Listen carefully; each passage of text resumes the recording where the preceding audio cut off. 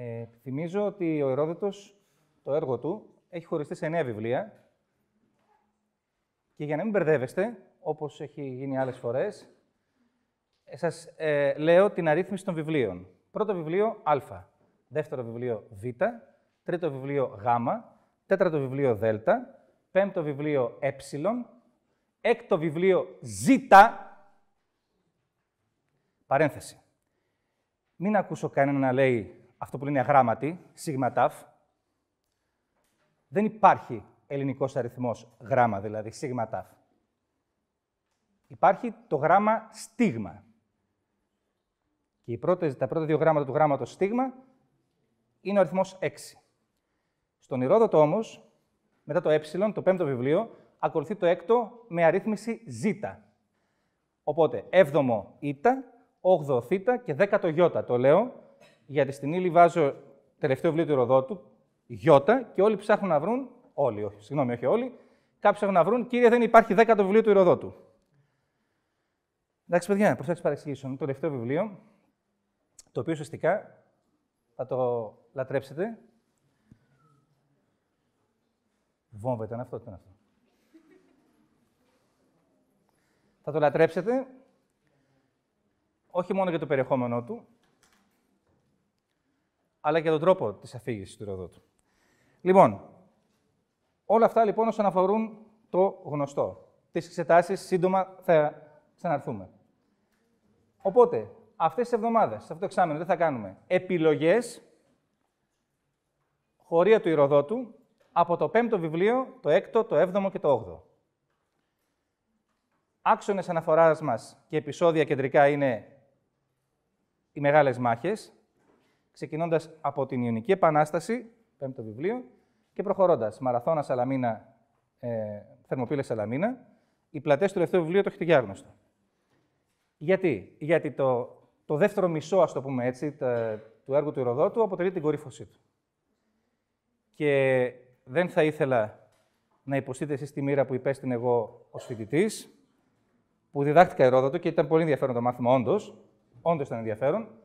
Αλλά δεν ξέρω. Ε, θα σας πω, δεν, ήταν, δεν ξέρω αν ήταν γενική πολιτική της εποχής, αν ισχύει και σήμερα. Συνήθως όταν διδάσκουμε στα πανεπιστήμια Ερόδοτο, παίρνουμε τα ακίνδυνα χωρία.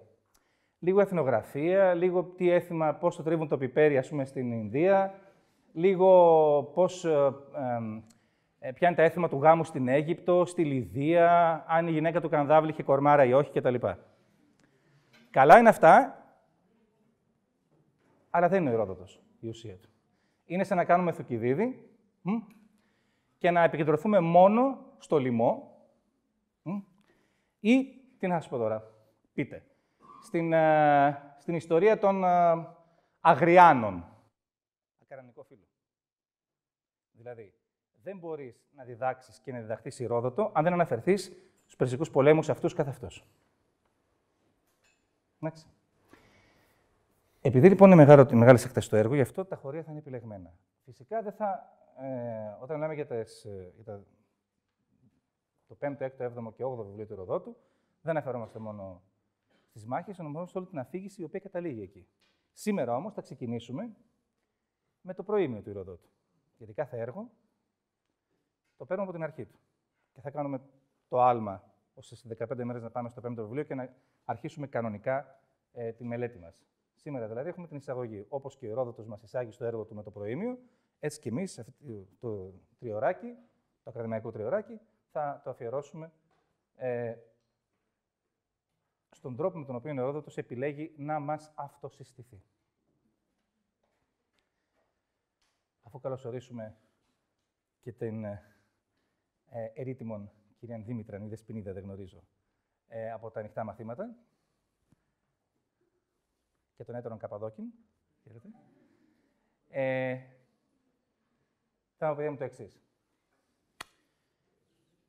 Μία παράκληση και μία πρόταση. Επειδή έχουμε ξανασυναντηθεί.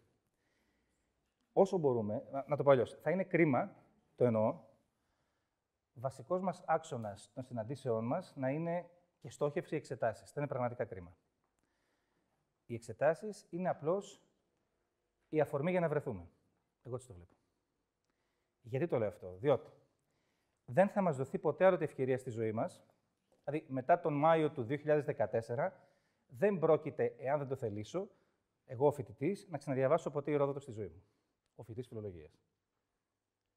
Από τι μεγαλύτερε ταπεινώσει μπορεί να πως ένας φοιτητής φιλολογίας, να μην θέλει να διαβάζει Ηρόδοτο από μόνος του. Να μην θέλει να διαβάζει τα κείμενα που τα διαβάζει υποχρεωτικά και αγκαριακό το τρόπο για εξετάσεις, να μην γουστάρει και να μην. Να τα διαβάζει από μόνος του. Αν συμβαίνει αυτό, εγώ έχω αποτύχει. Ο κάθε εγώ, ο κάθε καθηγητής. Ένα το κρατούμενο. Δεύτερον, δεν θα μας δοθεί ποτέ άλλη ευκαιρία να διαβάσουμε κομμάτια βέβαια, γιατί είναι τεράστιο, από το αρχαιότερο σωζόμενο κείμενο του πεζού λόγου γραμμένο στα ελληνικά. Δεν έχει πλήρε, πλήρως σωζωμένο, έτσι. Τίποτε, κανένα πεζό έργο, πεζό σε πεζό λόγο, δεν έχει σωθεί από την αρχαιότητα πριν από τον το πλήρως. Κανένα. Υπήρχαν. Θα αναφερθούμε σε μερικά. Κανένα.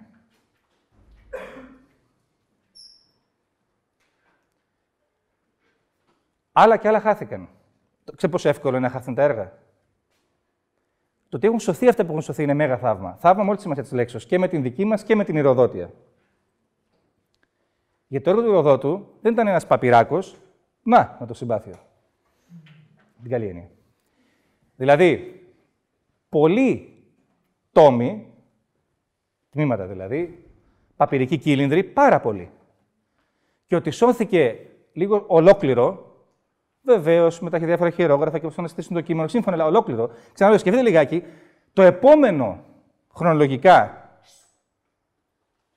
έργο συγγραφικό που έχει σωθεί, ολόκληρο, υποθέτουμε γιατί πέθανε για τη είναι το Θοκιδίδη, που είναι πολύ μικρότερος σε έκταση, καμία σύγκριση. Πολύ. Είναι μικρότερο.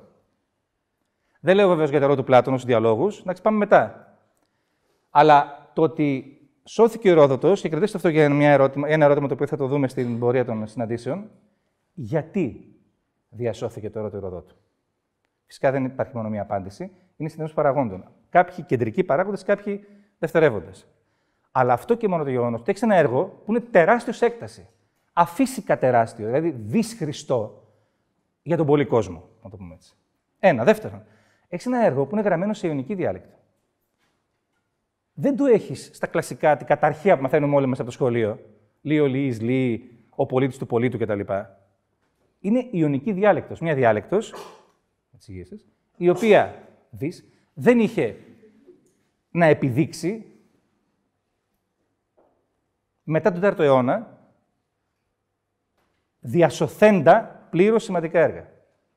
Δηλαδή, με τις άλλες διαλέκτους πλην των Αττικών, και της ελληνιστικής σκηνής και αυτό που λέμε τα αρχαία εν γέννη, ασχολούνταν μόνο εμείς, οι φιλόλογοι της εποχής. Και αν. Για να διασωθεί, να ξαναλέω, σκεφτείτε λίγο, το επιμένω και κλείνω, είναι αφύσικο με όρους κοινής λογικής και πεπατημένης οδού και τρίβου. Η τρίβος είναι εδώ. Το μονοπάτι που το πατάμε. Το ότι σώθηκε ο Ερόδοτος πλήρης Άρα θα υπάρχει κάποιος λόγος. Θα υπάρχουν μάλλον σημαντικοί λόγοι.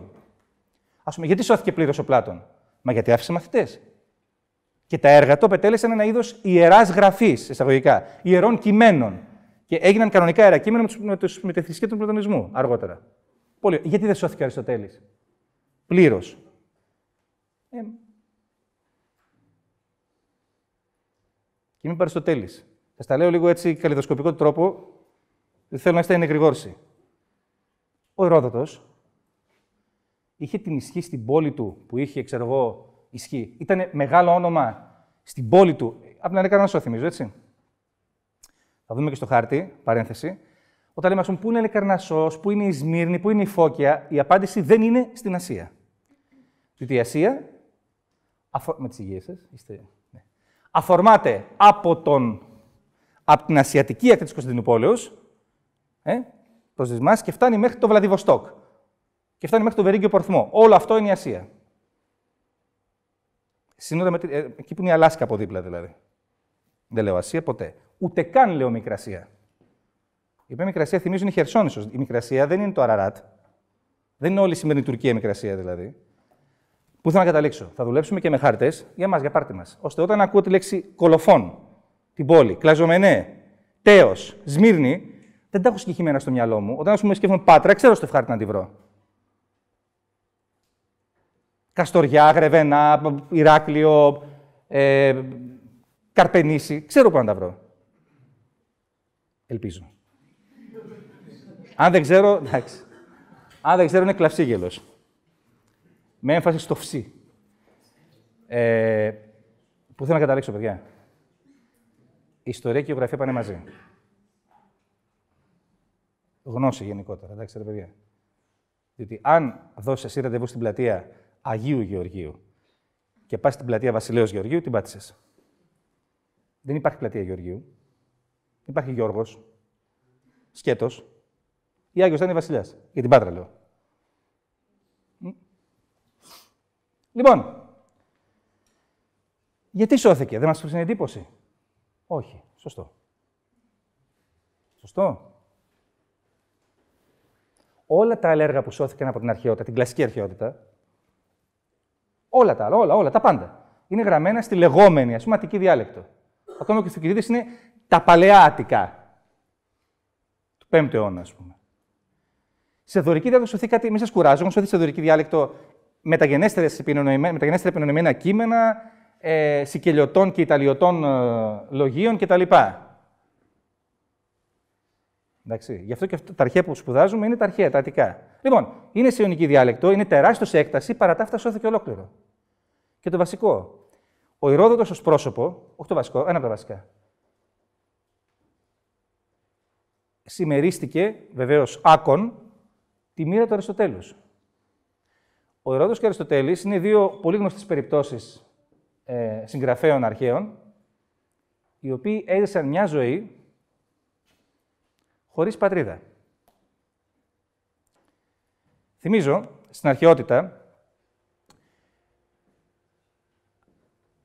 όταν δεν είχες, όταν δεν ήσουν πολίτης, δηλαδή να είχες τα, με σημερινούς όρους αστικά και πολιτικά δικαιώματα, δηλαδή να έχεις δικαίωμα να συμμετέχεις στα κοινά της πόλεως ως άρχον και αρχόμενος της πόλεως που γεννήθηκες,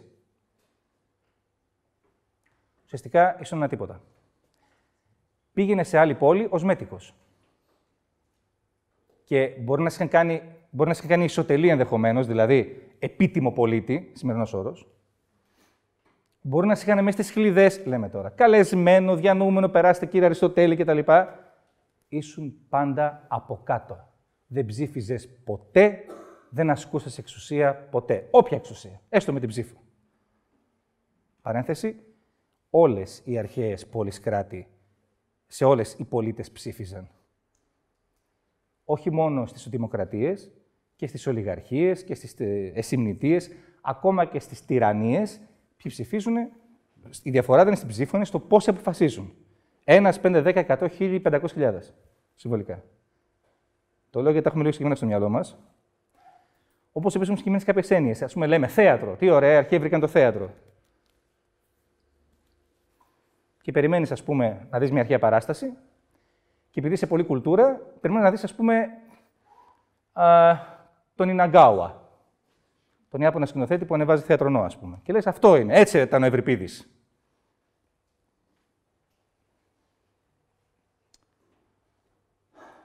Ελληνική Δημοκρατία. Αθηναϊκή, συγγνώμη, όχι ελληνική. Και λες έτσι είναι, βεβαίως. Ψήφιζαν βουλευτές κάθε τέσσερα χρόνια, είχαν πρόεδρο Δημοκρατίας, Θεέ μου συγχώραμε.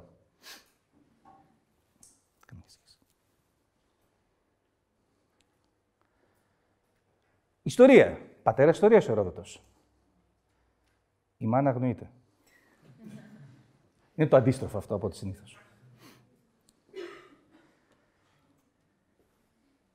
Και λέμε, Α, ιστορία, πολύ ωραία. Τι περιμένω να διαβάσω τον Ηρόδοτο, Ότι θα πάρω σήμερα, παράδειγμα, ξέρω εγώ, ένα έργο σύγχρονου ιστορικού. Πείτε, ξέρω εγώ, ιστορία του Δευτέρου Παγκοσμίου Πολέμου. Πάπ, το κατεβάζω και το διαβάζω.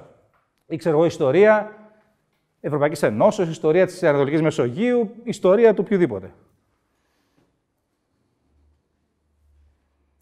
Σας τα λέω όλα αυτά. Τα έχετε ξανακούσει βέβαια, απλώς μια που ξεκινάμε σήμερα. Θέλω και που είστε νέα παιδιά στο ξεκίνημα και τη ζωή σας της ακαδημαϊκής και με το καλό της ε, πορείας σας ως πνευματικών ανθρώπων.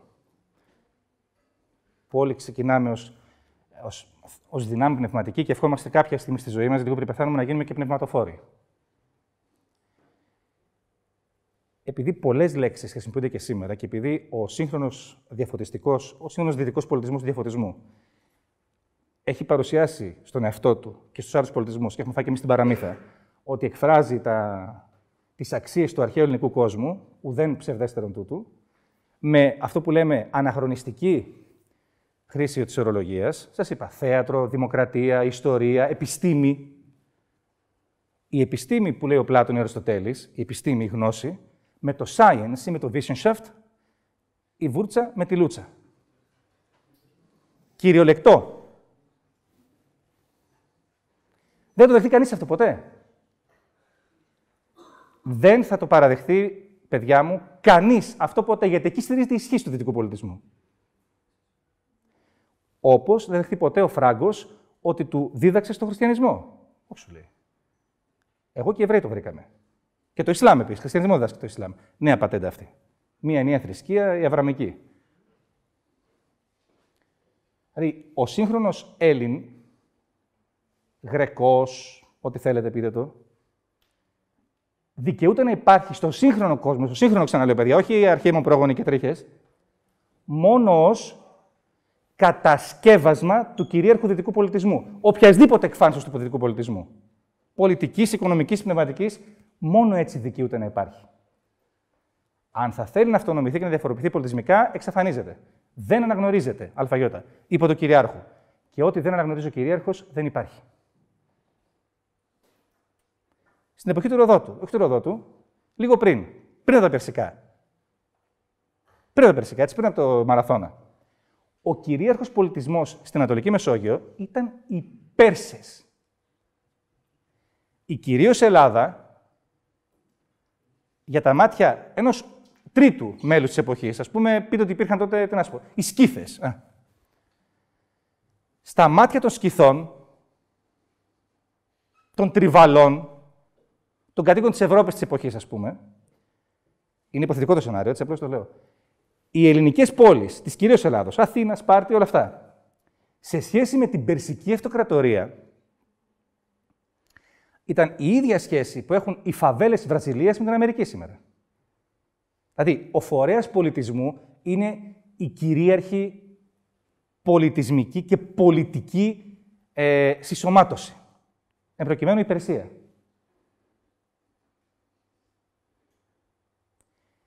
Το λέω αυτό, γιατί ρε παιδιά είναι Έσβησε.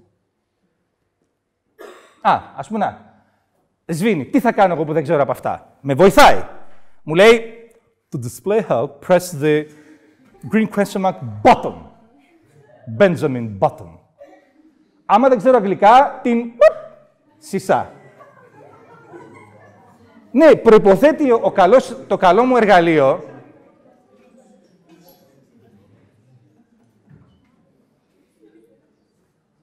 την εξαφάνιση, αυτό είναι. Το καλό μου εργαλείο προποθέτει ότι τα αγγλικά είναι φύση μου. Φυσικά ξέρω αγγλικά, όπως και εσείς. Τα ξέρω επειδή πρέπει να τα μάθω. Όχι επειδή παίρνω αξία από τη γνώση της αγγλικής και της κάθε ξένης γλώσσας. Αυτά είναι άπαξ λεγόμενα, το καταλαβαίνετε. Φοβάμαι ότι θα είναι και άπαξ ακρώμενα, δεν πειράζει. Ίσον. Μακάρι να μάθω όσες περισσότερες ξένες γλώσσες μπορώ και, και κάντε το. Το λέω εν τιμή. Ένα από τα πολύ καλά πράγματα που έχει η μελέτη για διδακτορικά, για, για τη δουλειά μας εδώ, είναι ότι τουλάχιστον υποχρεώνει να διαβάζεις πολλές ευρωπαϊκές γλώσσες. Σίγουρα και αν μπορείς και άλλες, ακόμα καλύτερα. Μεγάλη υπόθεση. Πλούτος. Αλλά τη γνωρίζω ως ξένη γλώσσα. Δεν είναι χέρι, είναι κουτάλι, μαχαίρι, εργαλείο. Το χέρι μου είναι ένα. Αυτό το ερώτημα, σε αυτό το ερώτημα, αντί για αγγλικά, ως προς τον πολιτισμό μιλάω τώρα, έτσι, ο οι Έλληνες εποχής του 6ου αιώνα, πριν από τα Μυδικά, απαντούσαν ευθαρσώς Ανατολή. Λιδία, πριν έρθει η Περσία, Περσία. Δηλαδή, η πηγή του πολιτισμού στην συνείδηση των λαών της Ανατολικής Μεσογείου, τον έκτο, από τα μέσα του 6ου αιώνα και μετά, δηλαδή όταν κυρίευσε ο Κύριος στην, την Λιδία, ήταν η Περσική Αυτοκρατορία. Γιατί ήταν η πρώτη φορά που ένα ενιαίο κράτος απλώνεται από την, από την Ινδία μέχρι τη Μεσόγειο και συσσωματώνει όλες τις παραδόσεις των κρατών τα οποία κατέκτησε. Η πολιτισμική κυριαρχία προϋποθέτει παντού και πάντοτε στην ιστορία πολιτική στρατιωτική κυριαρχία. Πολιτική και στρατιωτική ή πολιτική στρατιωτική, καταλαβαίνετε Ποτέ στην ιστορία δεν θαυμάστηκε ένας λαός ή μια, ένα, ένα κράτος, ένα, μια πολιτική οντότητα μόνο για τον πολιτισμό της. Προηγείται η ισχύς και ο πολιτισμός είναι παρακολούθημα. Το αντιλαμβανόμαστε. Λοιπόν, γι' αυτό απετέλεσε πολύ μεγάλη... Θα ανοίξει αυτό τώρα και τώρα. Τι έγινε; Α. Απετέλεσε πολύ μεγάλη υπόθεση και ένα είδος πολιτισμικού σοκ με τη θετική έννοια. Η κατάληξη των Περσικών πολέμων, παιδιά μου. Εάν οι Πέρσες είχαν κερδίσει στη Σαλαμίνα, γιατί αυτή ήταν μάχη, εάν οι Πέρσες είχαν κερδίσει τη Σαλαμίνα, οι ήρωες των Περσικών πολέμων θα ήταν οι δαίμονες, οι κακοί. Δεν Θα εξαφανιζόταν η μνήμη του Λεωνίδα και οι καλοί θα ήταν. Ποιοι θα πέρανε, τι θα γινόταν, ο Θημιστοκλής, αν παρέδιδε αυτό στην Αθήνα. Ο αντίστοιχος, όποιο ατράπη Ελλάδος γινότανε. Και φυσικά η ιστορία ήταν διαφορετική. Ενώ λέμε για το Θουκυδίδη έτσι. Η ιστορία του Θουκυδίδου δεν εξαρτάται από το αποτέλεσμα του πολέμου του Πολεμονησιακού. Ο Θουκυδίδης δεν έγραψε την ιστορία του και δεν σώθηκε η ιστορία του όσο πρόλαβε να τη γράψει, επειδή κέρδισαν οι Σπαρτιάτες στον πόλεμο. Και οι Αθηναίοι να κέρδιζαν, την ίδια ιστορία θα γράφει. Το καταλάβατε αυτό. Η ιστορία του, του, η ιστορία του Ηροδότου είναι από τα ελάχιστα κείμενα τα οποία υπάρχουν επειδή τα γεγονότα στα οποία αναφέρεται απέβησαν έτσι και όχι αλλιώς. Ξαναπώ.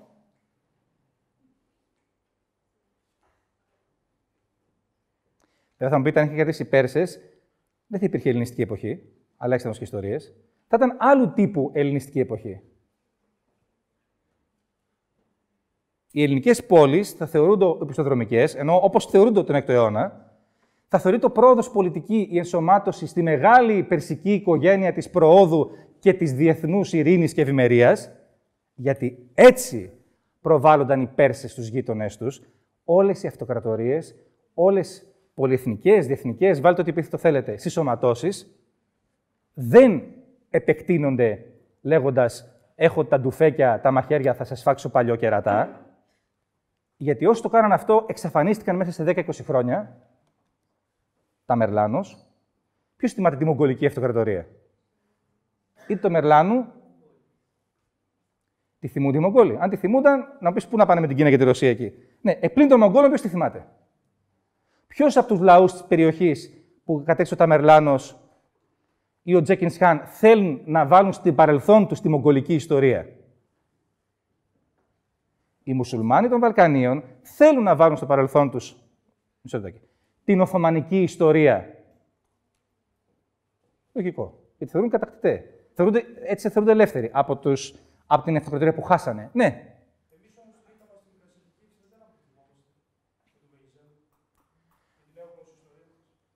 Τη θυμόμαστε ή δεν τη θυμόμαστε, δεν το κατάλαβα. Τη θυμόμαστε ή δεν τη θυμόμαστε. Τι θυμόμαστε.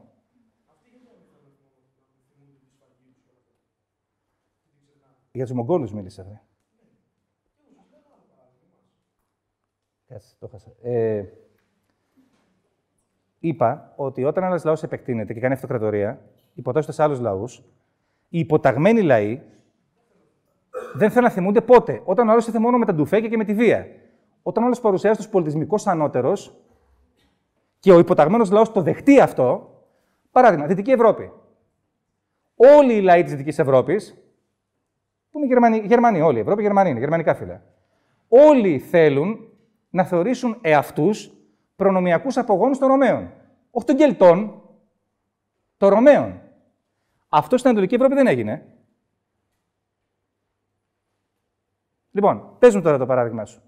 Πώς συνδέεται αυτό με τη μεσητική εκστρατεία; Με, με ενδιαφέρει αυτό που λες, αλλά θέλω να το καταλάβω. Πού έχουμε αυτοκρατορία εκεί που επιτίθεται σε λαό υποταγμένο; Ναι.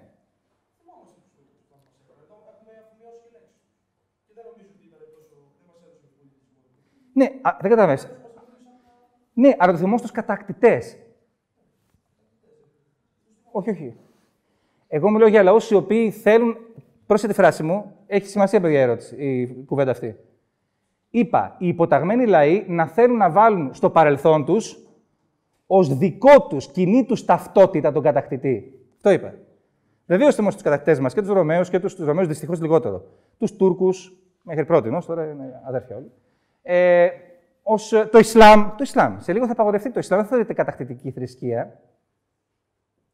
Τόλμη να το πεις έξω. Το Ισλάμ είναι η κορύφωση της αβρααμική θεολογίας. Αυτό πιστεύει. Αυτό είναι ο μουσουλμανισμός. Όχι σήμερα, εδώ και 100 χρόνια. Ο λεγόμενος μη θρησκευτικό, όχι μη θρησκευτικός, πώς το λένε, παιδιά, ο εκλαϊκιστικό. Και όχι μόνο το Ισλάμ, και πολλοί το πιστεύουν αυτό. Λοιπόν, θέλω να πω, το πώς ένας λαός κατασκευάζει το παρελθόν του και την ιστορία του θα μας τα διδάξει ο Ηρόδοτο.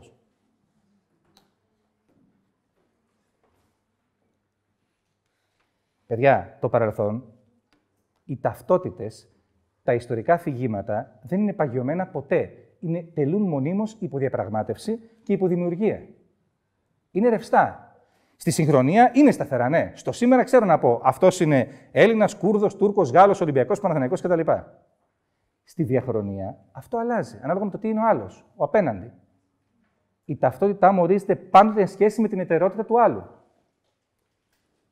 Οπότε, αυτό εννοούσα όταν έλεγα ότι εάν είχαν κερδίσει λοιπόν οι Πέρσες, θα υπήρχε ένας άλλος Ηρόδοτο, θα υπήρχε ένας Πολύβιος. Θα υπήρχε ένας Κριτόβουλος.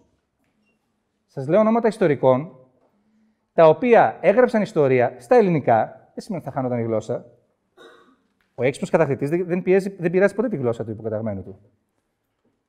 Ειδικά αν αυτή η γλώσσα έχει κάποιο κύρος στους γειτονικούς λαούς. Ο Πολύβιος τι έγραψε; Ιστορία της Ρώμης. Και ουσιαστικά δικαιολόγησε και είπε ναι, σωστά μας κατέκτησε η Ρώμη, διότι εμείς οι Έλληνες είχαμε χάσει την ηθική μας ανωτερότητα και αρετή, είμαστε σε παρακμή και οι Ρώμοι είναι αυτοί, οι Ρωμαίοι. Αυτός ο λαός είναι που ξανάζησαν οι ελληνικές, τα ελληνικά ειδώδη της Ανδρία, της τιμιότητος, της φιλοθείας. Και ναι, και η Ρώμη ενσωματώνει ό,τι καλύτερο έχει δείξει ο ελληνικός πολιτισμός. Πολύβιος. Γιατί το λέει, γιατί η Ρώμη νίκησε. Κριτόβουλο. Ο ιστορικός του Μωάμεθ. Του Πορθετή.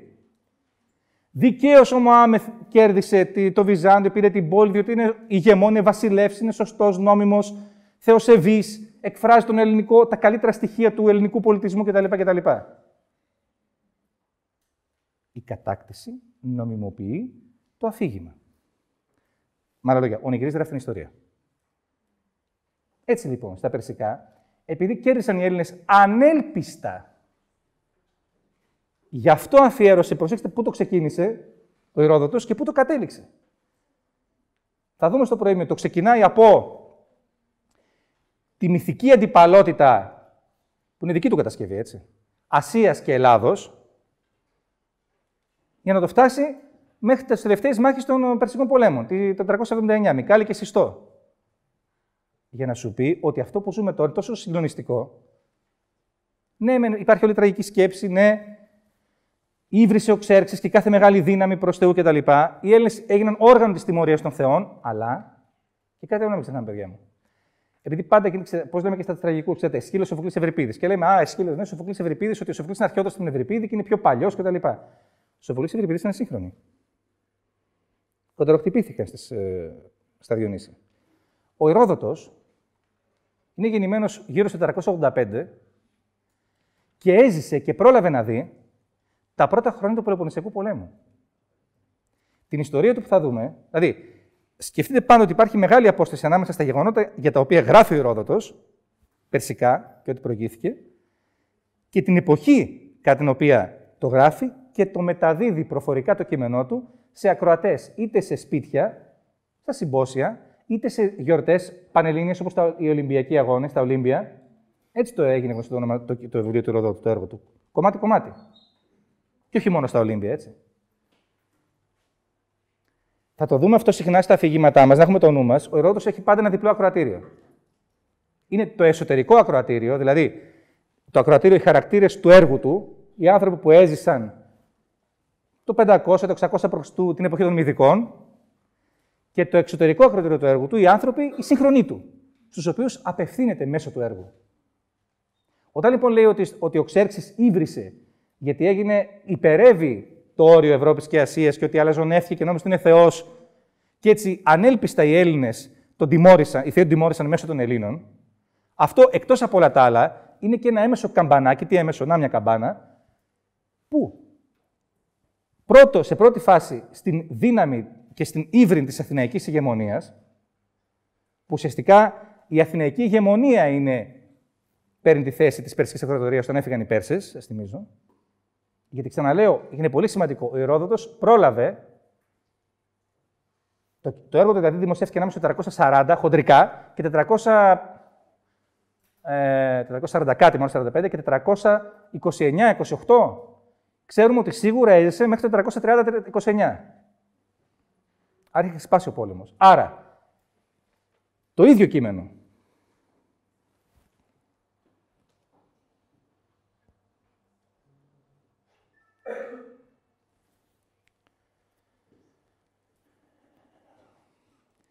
Έχετε καταλάβει ότι παραπέζονται πολύ περισσότερο από ένα αρχαίο κείμενο;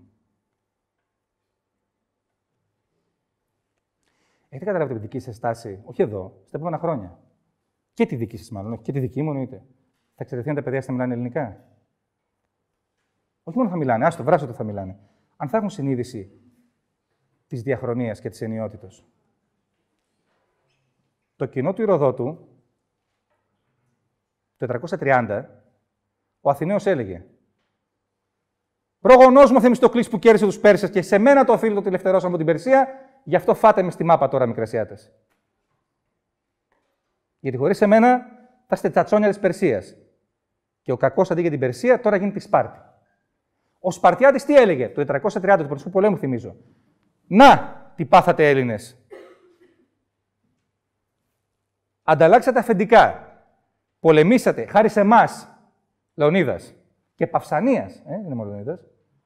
Εμείς διώξαμε τους Πέρσες από την Ελλάδα και ανταυτού μας πουλήσατε, δεν μας βοηθήσατε Πήγατε στην Αθήνα που σας προσέφερε τα λιλιά, τα ωραία, τον πολιτισμό τη Δημοκρατία, χαρούλες κτλ. Πάρτα τώρα. Γιατί το μεγάλο σύνθημα στον Πελοποννησικό πόλεμο τι ήταν, Ελευθερία της Ελλάδος. Λευτεριά στους Έλληνες. Αυτό λέγανε οι Σπαρτιάτες. Αυτό ακριβώς έγινε, παιδιά. Και είδαν οι Έλληνες τώρα ελευθερία είχαν μετά. Το σύνθημα ελευθερία στην Ελλάδα, στους Έλληνες, πρώτα στους Μικρασιάτες, γιατί ήταν οι πρώτοι που κατακτήθησαν από ξένη δύναμη, τα λέει ο Ρόδοτος, ήταν το βασικό σύνθημα που μπορούσε να πορώσει τον κόσμο και να πολεμήσει για τα κατάλληλα αφεντικά. Τους κατακτητές του εξωτερικού δηλαδή. Έτσι δεν ήρθαν και οι Ρωμαίοι. Γιατί νομίζετε να αντισταθήκαμε στους Ρωμαίους, Όλοι μαζί, μεμονωμένα. Γιατί είπε ο Φλαμενίνος, έρχομαι Έλληνες και φέρνουν την ελευθερία από τους κακούς βάρβαρους Μακεδόνες, που δεν είναι Έλληνες φυσικά. Καταλάβατε τι εννοώ. Είναι δυνατόν εγώ Ρωμαίο από τη Μακεδονία στην Έλληνες. Τι έκανε ένα σπισμό. Ο ξέρεις, θα, θα τα δούμε. Εσείς είμαι κρασιάτες, λέει Σμυρνή. Οι Αλικαρνασεί δεν είστε Έλληνες, είστε Ασιάτες. Δεν υπάρχει αίμα και βλακίες και ταυτότητα. Πού γεννήθηκες, εδώ, εδικό μου, Ασία. Ασιάτης κι εγώ. Έλα, μωρέ, η γλώσσα θα τα βρούμε. Αφού γεννηθήκαμε στο ίδιο χώμα, ο ξέρεις, βέβαια στα Σούσα, στη Βαβυλώνα, μέχρι δεν έχει σημασία, είμαστε ένα. Άρα, ένα να με βοηθήσεις που εμείς είμαστε η δύναμη του πολιτισμού που θα τιμωρήσει τους υβριστές Έλληνες, Αθηναίους, συγγνώμη. Γιατί οι Αθηναίοι επιτέθηκαν πρώτοι στη Σάρδης. Βλέπετε πως όλα τα πράγματα επαναλαμβάνονται, παιδιά. Ποτέ καμία δύναμη δεν ξεκινάει πόλεμο, όχι με τα όπλα μόνο και χωρίς τα όπλα, χωρίς να παρουσιάζεται ως αδικουμένη και ότι έχει το δίκιο με το μέρος της. Καμία ποτέ στην ιστορία. Ποτέ. Μα ποτέ. Δεν πάει να είσαι η Περσία και η άλλη είναι η Αθήνα. Θυμίζω, δεν υπάρχει ενίο ελληνικό κράτος στην αρχαιότητα. Τι πιο εύκολο λοιπόν. Το, το ποιο είναι; Αν θέλω να επιτεθώ για του έχω χωρισμένου, θα πω, θα διασπάσω, θα φτιάξω τοπικές ταυτότητες. Εσύ με σένα Σπάρτη δεν έχω τίποτα, την Αθήνα τιμωρώ. Ή με σένα εγώ Θήβα. Εσύ Μυρνιέ, και τι είπαν εναντίον μου. Ιωνική Επανάσταση; Τι έχουμε να χωρίσουμε; Σε βάλανε οι Αθηναίοι, πράκτορες. Εγώ είμαι δικός σου άνθρωπος. Καταλάβατε τι θα έχει γίνει; Και αυτό είναι με ιστορία. Έλατε τώρα. Εάν λοιπόν είχε έρθει η Περσία στην Ελλάδα και στο Μοριά, δεν θα υπήρχε Ηρόδοτο. Ή θα ήταν Πέρση Ηρόδοτο. Κτησίας, ο γνωστός ιστορικός του Περσική Αυτοκρατορία. Και εννοώ λοιπόν, και κλείνει αυτή η μικρή παρένθεση, ότι είναι μια από τις παραδοξότητες, να πούμε, τα χαρακτηριστικά του ηροδοτικού έργου που το αποτέλεσμα των ιστορικών γεγονότων τα οποία καταγράφει ουσιαστικά οδήγησαν στη, σύλληψη, στη δημιουργία του έργου του. Εντάξει. Την προηγούμενη ώρα μιλήσαμε για λαούς, κοινότητες, οι οποίες ενσωματώνουν στο παρελθόν τους και στην προσωπικό τους μύθο και ιστορία Ενσωματώνουν λοιπόν στον προσωπικό τους μύθο και την ιστορία γεγονότα άλλων λαών ή πρόσωπα άλλων λαών ή δικά τους πρόσωπα από, τον ίδιο το, από το ίδιο το έθνος, από τον ίδιο το λαό, άλλων εποχών.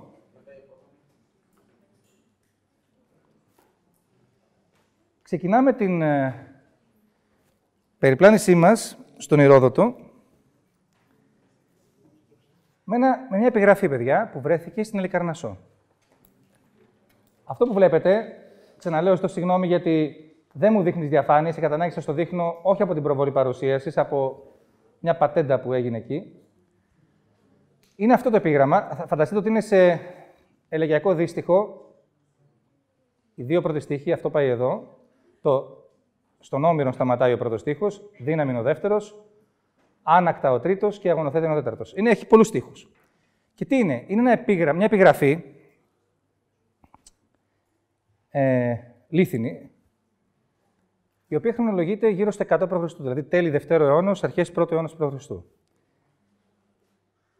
Και ήταν η πόλη της Αλικαρνασού, μια εποχή στην οποία βρισκόταν ήδη υπό την ε, ρωμαϊκή σφαίρα επιρροής Αλικαρνασός,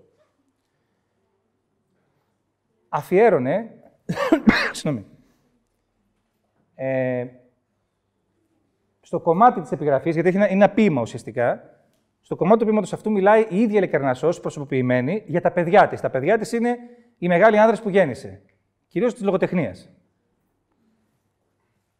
Είναι ο Ηρόδοτο, είναι ο Άνδρον, ένας ιστορικός, σύγχρονος περίπου του Ηροδότου. Είναι ο Πανίασης, ο επικός ποιητής που οι πηγές τον θέλουν είτε θείο είτε ξάδερφο του Ηροδότου. Και ο Κυπρίας, ο Κυπρίας Θεσσαλονικό είναι, επικός ποιητής που έγραψε τα Ηλιακά. Και κοιτάξτε πώς Μιλάγαμε για τη δημιουργία της εικόνας και του παρελθόντος. Η, η Αλικαρνασής, λοιπόν, χοντρικά το 100 π.Χ. Παρένθεση. Η ιστορία δεν είναι βιολογία. Δηλαδή, ερώτημα. Μα η Αλικαρνασή ήταν γνήσιοι απόγονοι των Αλικαρνασίων του Ηροδότου. Απάντηση. Ανόητο το ερώτημα. Άπαξ και εγώ, ο Αλικαρνασεύς, λέγομαι, ξέρω εγώ, Σουλπίκιος. Και είμαι ένας από τους άρχοντες Αλικαρνασού λέω, πιστεύω, όχι το κάνω για τους άλλους, πιστεύω μέσα μου βαθιά ότι είναι είμαι απόγονος, συμβολικά βέβαια, ή και πρακτικά, του Ηροδότου ή της εποχής του Ηροδότου, άρα είμαι. Ο Ηρόδο θα μας διδάξει στα κείμενό του ότι πολλές οικογένειες των Ελλήνων, αρχοντικές οικογένειες, τη Πάρτη, των Θηβών, οι αριστοκρατικές οικογένειες, ήλεγαν την καταγωγή τους από θεούς και ημίθεους. Λέει, εμείς η γενιά μας κρατούν Ηρακλή. Τρέχα, τρέχα βρέστο εσύ. Πρόσεξε όμως, τι δηλώνει αυτό, ότι εφόσον εγώ, η Σπάρτη Βασιλή, ή ακόμα και η βασιλή της Λιδίας. Έτσι λέγανε, ότι ήταν από τον Ερακλή η προηγούμενη. Συγγνώμη. Η πριν από το Γίγη δυναστεία. Αυτό τι σημαίνει, δημιουργεί ευθύνες. Να μην δικαιώματα, αφού είμαι απόγνωση του Ηρακλείου, οφείλετε να με σέβεστε και τα λοιπά, να έχω ηγεμονική θέση στην Ελλάδα, εγώ η Σπάρτη, αλλά συγχρόνως και δικαιώματα. Στην ελληνική αντίληψη, όπως την εκφράζει ο Ρόδοτος και άλλε συγγραφείς και άλλες εποχές, κανένα δικαίωμα δεν είναι ξεχωριστό από την υποχρέωση η εξουσία, η μεγάλη ισχύς, φέρει και υποχρεώσεις. Ο βασιλιάς, ο αρχηγός του θα θυσιαστεί πρώτος για την πόλη του. Αν δεν το κάνει, θα τον καθαρίσουν. Είτε συμβολικά, είτε πρακτικά. Δηλαδή, μεγαλύτερες ανέσει και μεγαλύτερες, μεγαλύτερα προνόμια, ευθέως ανάλογες και υποχρεώσεις. Μην πάτε μακριά, στην αρχαία Αθηναϊκή Δημοκρατία. Να το πω αλλιώς. Στην αρχαία, στο Σολόνιο πολίτευμα. Όχι στη Δημοκρατία, συγγνώμη. Στο Σολόνιο πολίτευμα. Εσ' όλων μεταρρυθμίσει. Είχες δικαίωμα ψήφου; Είχες. Έπρεπε να φροντίσεις την πανοπλία σου και όταν σε καλέσει η πατρίδα να πας ως οπλίτη στη μάχη. Δεν είχες ούτε αυτά τα λεφτά και ήταν από ένα χρήματα και πάνω. Κατάλαβε, ήταν πολύ. Δεν ήταν βαπανάκι, το φτωχαδάκι δεν μπορούσε να έχει οπλική πανοπλία. Δεν είχες τίποτα. Πήγαινε στα καράβια. Και γινώσουν κοπηλάτες. Οι θήτε που λέμε. Οι θήτες δεν είχαν υποχρεώσει, δεν μπορούσαν να ψηφίσουν στο Σολόνιο πολίτευμα. Όχι μετά με τη Δημοκρατία. Αλλά γι' αυτό τους έκανε και υποχρεώσεις. Ούτε φορολογία ούτε τίποτα. Λοιπόν, οι ίδιοι λοιπόν οι Καρνασί είναι καμάρι για τον τόπο τους, φυσικά όταν είσαι και υποξενική κατοχή, ένας ζώο παραπάνω, να προβάλλεις τους μεγάλους άνδρες. Κοιτάξτε, δεν λέμε, ξέρω εγώ, πού είσαι ο άλλος. Α, πάτε στο εξωτερικό που είσαι, λες γκρι, Ελλάδα. Α, Σόκρατε, σου λέει ο άλλος. Άμα δεν σου πει κάτι άλλο, ξέρω εγώ, νεότερο, τι άλλο να βρούμε, ξέρω εγώ. Τζατζίκι, ας πούμε.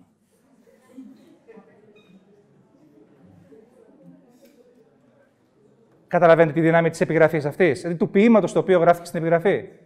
Ο επισκέπτης Ελεκαρνασού, παιδιά, παιδιά, σήμερα έρχεται σε επισκέπτη στην Ελλάδα. Τι, θα, τι προβάλλουμε εμείς; Σκεφτείτε, είτε εμείς ως πρόσωπο, εγώ δεν είμαι πατρινός, πρωτεύω στην πατρινό πριν χρόνια, έτσι. Ένας πατρινός, πού θα με πάει, τι θα μου δείξει; Πού θα μου πει τι μεγάλες μορφές της πόλης των πατρών; Πρόσωπα, ρε παιδί μου. Ιστορικά πρόσωπα. Πείτε, εγώ δεν έχω ιδέα δεν πρέπει, παράδειγμα, ένα παράδειγμα που μου στο μυαλό, να με πάει κάποιος στην Κορίνθου και να μου δείξει εδώ είναι το σπίτι του Παλαμά. Οποιοδήποτε Έλληνας θα πρέπει να το κάνει αυτό. Πολλό δε μάλλον ο πατρινός ή ο Μεσολογγίτης. Με όποιον ταυτίζει το Παλαμάς, δεν ξέρω. Και με τους δύο δεν έχει σημασία. Έρθει κάποιος στην Αθήνα. Δεν τον πάω στα αρχαία μόνο. Τα αρχαία τα ξέρει. Τα ξέρει. Δεν μου συγχώραμε, τύφλα το ξέρει. Ξέρει τα antiquities. Δεν ξέρει τα δικά μου αρχαία. Προσέξτε, παιδιά, έχει σημασία για τον επισκέπτη των Αθηνών, εξωτερικού ή εσωτερικού, η Ακρόπολη είναι και το Ακρόπολης. Και το Θησίον και το λοιπά, είναι αυτό. Για μένα, είναι το μέρος που πήγαινα ο παιδί, το μέρος των, πρώτων ραντεβού και δεν συμμαζεύεται. Τον κάθε μένα που μεγάλωσε εκεί. Αυτή είναι η σχέση με την ιστορία μας, παιδιά. Άλλο Πάτρα, άλλο Πάτρας. Ναι, άλλο Σοκράτης, άλλο Σόκρατες. Είναι δύο διαφορετικά πρόσωπα, δεν καταλάβατε αυτό. Άλλο Χριστός, άλλο Τζίζουζ. Είναι τελείως άλλο.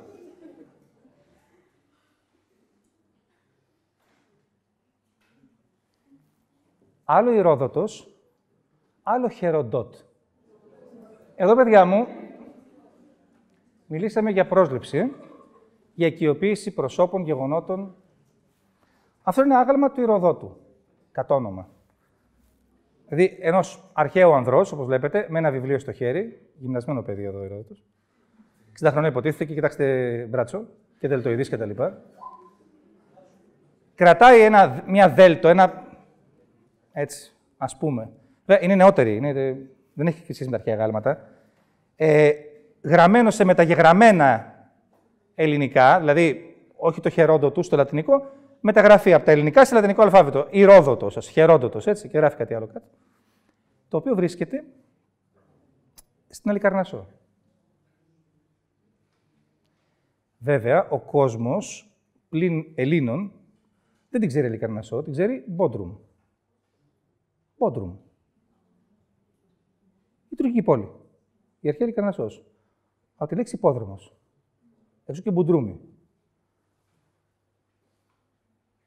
Τουρκία. Σημαίνει Τουρκία, Μικρασία. Έτσι. Πάρκος της Ελεκαρνασού. Χαιρετότ. Αυτή η προτομή του, του νησιού του Πάσχα Παύλα Ηρόδοτος, Παύλα Ροντέν, ε, δεν μοιάζει με τα... Πώς τα λένε αυτά τα νησιά του Πάσχα; Ε, Νοά, Νάου, Μωάη, ευχαριστώ πολύ. Είναι η πρωτομή του Ροδότη, που είναι έξω από το Μουσείο της Ελεκαρνασού.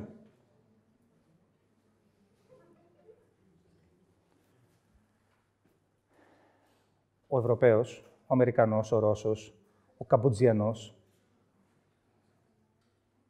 ο απόγονος των Μωάη, που έχει μεσάνυχτα, δεν τον ενδιαφέρει την δική του παράδοση, θα διαβάσει στη Wikipedia, παρένθεση, Ό,τι, υπάρχει, ό,τι ανεβαίνει στο διαδίκτυο υπάρχει. Ό,τι δεν ανεβαίνει δεν υπάρχει. Σκεφτείτε το. Σκεφτείτε το. όταν βλέπω σε εργασίες και να μου παραπέμπεται η Wikipedia ως πηγή, την πρώτη φορά που το άκουσα αυτό είχα τρεις φορές τα μαλλιά που έχω τώρα. Καταλάβατε αυτό που λέμε στην αυτήν ιστορία, παιδιά; Ο Ντεκάρτ έλεγε σκέφτομαι, άρα υπάρχω. Σήμερα, υπάρχει, σήμερα ισχύει. Υπάρχει στο διαδίκτυο. Ανεβαίνει στο διαδίκτυο. Υπάρχει αυτή η γνώση. Δεν ανεβαίνει. Εξαφανίζεται. Damnatio memoria. Καταστροφή της μνήμης. Εγώ ξέρω ότι ο Ηρόδοτος είναι αρχαίος Έλληνας. Μόνο εγώ όμως το ξέρω. Και εσείς, ενδεχομένως. Τα παιδιά σας, όχι. Δηλαδή, δεν είναι αυτονόητο ότι οι πεπιθήσεις μας του σήμερα θα ισχύουν ανέκαθεν. Κάθε γενιά δίνει τη μάχη της για να κρατήσει τη διαφορετικότητά της και την ελεύθερη ταυτότητά της. Αν το αφήσεις να πάει από μόνο του, ειδικά σε περίοδο που είσαι από κάτω, έσβησες. Και θα μαθαίνεις στα σχολεία σου, σύντομα θα γίνει αυτό, ότι ο Όμηρος είναι ο Ομέρ Βριώνης. Δεν αστείευομαι. Αυτά που μέσα θεωρούμε αστεία, τα μαθαίνουν, περάστε. Τα τουρκόπρα στα σχολεία, ως επιστήμη. Και λέμε, χαχά, δεν ξέρουν κτλ. Ναι, δεν ξέρουν. Αλλά τον ταξιτζή στο Λονδίνο, τον μπακάλι στο Παρίσι, Ωραία. Και το βαρκάρι στο, στη Σομαλία, δεν τον ενδιαφέρει αυτό. Σου πέρασε μια χαρά. Α, κοίταξε τι ωραία. Δεν πας στην Αμερική και βλέπεις τη σύγκλητα, ας πούμε, αυτά τα κύρια άλλα τι ωραία, Αμερικάνικα. Δεν βλέπουν τις εικόνες μας και λένε οι φράγκοι, Α, ρώσικες εικόνες. Τις Ορθόδοξες. Τόσο αστείο είναι, ρε παιδιά. Τόσο αστείο είναι, ρε παιδιά. Δεν λέω για σένα, μάνα μου. Γενικότερα. Έχετε καταλάβει τι παίζει. Είμαστε έτσι. Έτσι είμαστε. Υπάρχει χειρότερα. Θα μπορούσε να είμαστε.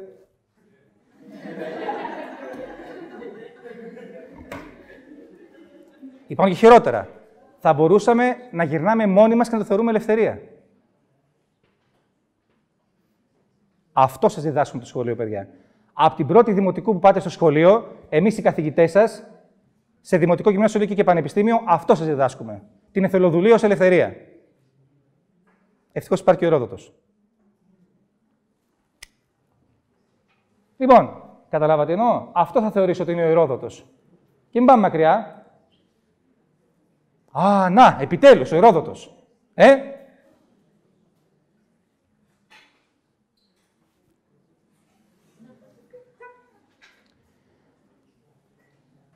Μαρμάρινο αντίγραφο.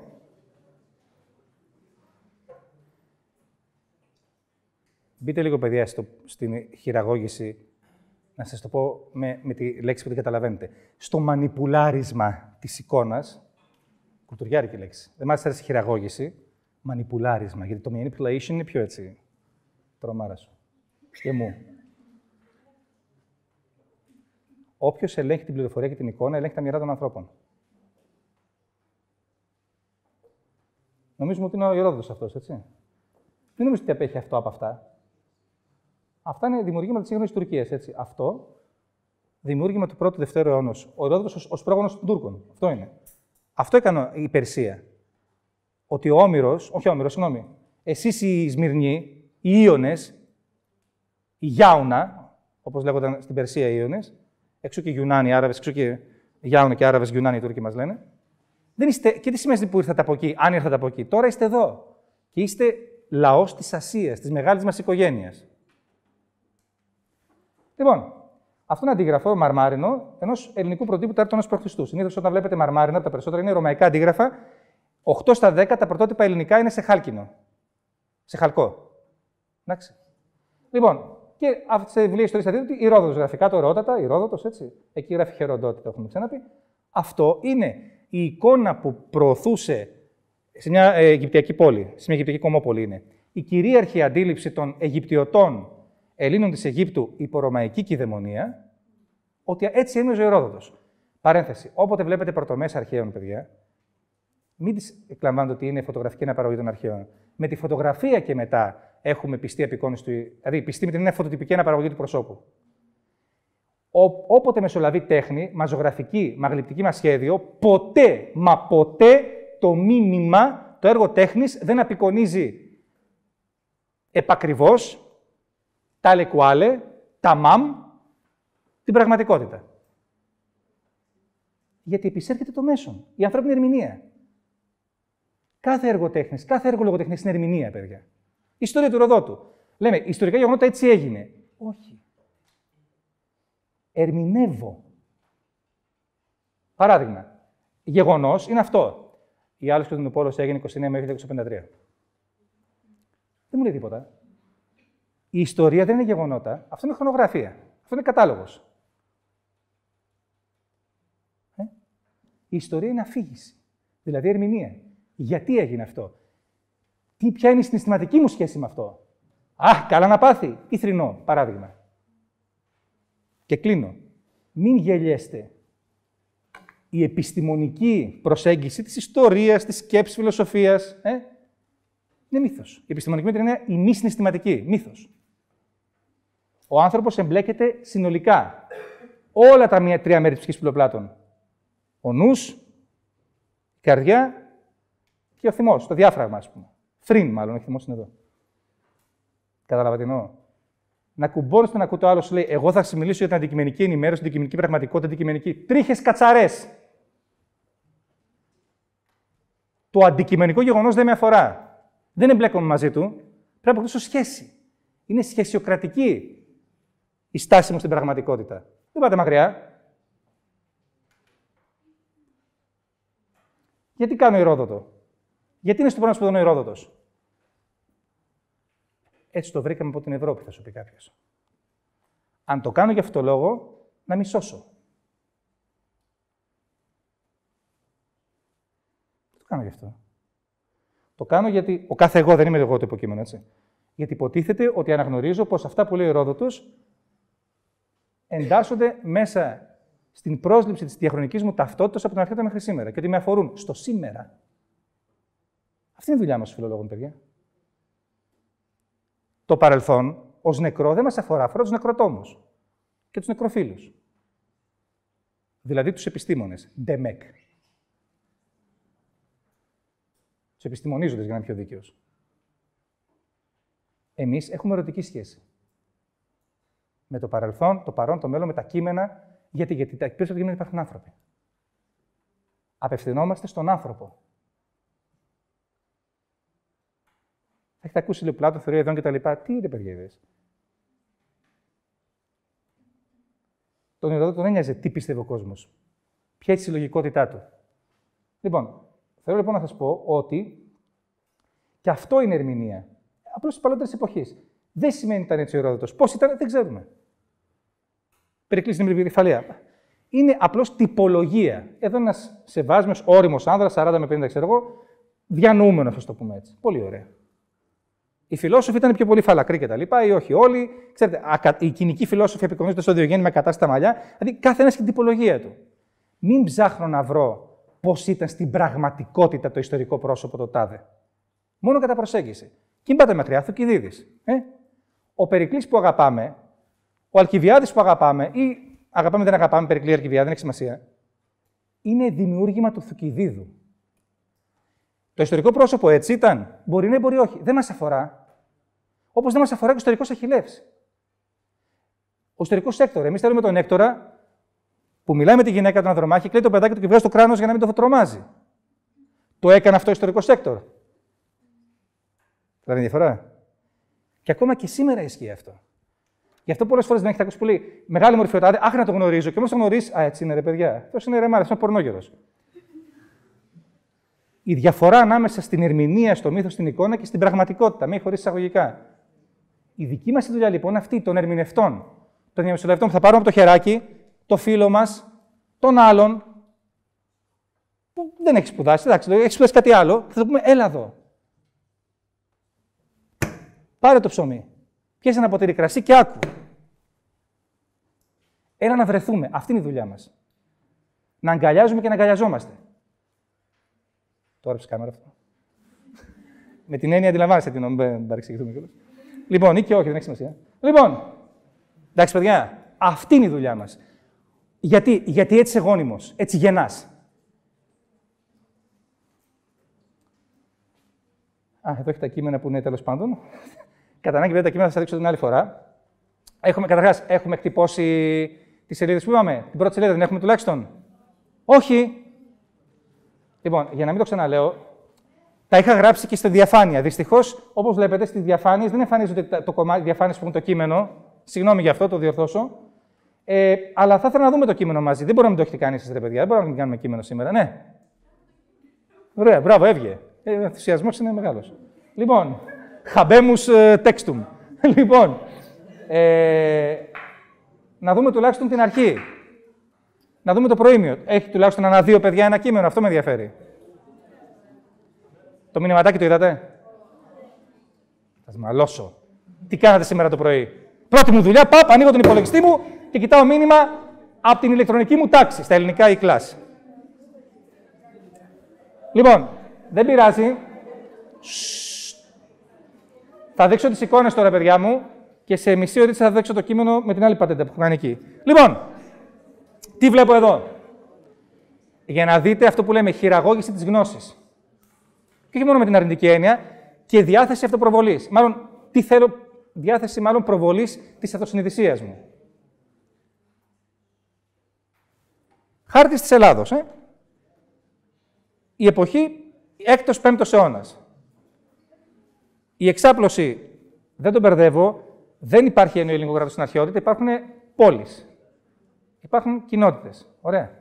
Όπου είναι πράσινο είναι οι Έλληνες. Ωραία. Η... Για να έχουμε μια πρώτη γεύση, παιδιά μου, εδώ είναι η Ρόδος. Εδώ στη Μεσσηνή είναι το πίδημα. Όντως. Ένα χωριό, μια χωριό πίδημα. Λοιπόν, από τα αρφαρά απ' έξω. Η Έφεσος, βλέπουν η Έφεσος, αν ρωτήσω, λέμε τώρα, αν βάλω χάρτη, παράδειγμα, μπορεί να μην βάλω, μπορεί να βάλω. Και πω, βάλω την, την κουκιδίτσα εκεί και πω, ταυτίστε μου, γράψτε μου ποια πόλη είναι αυτή.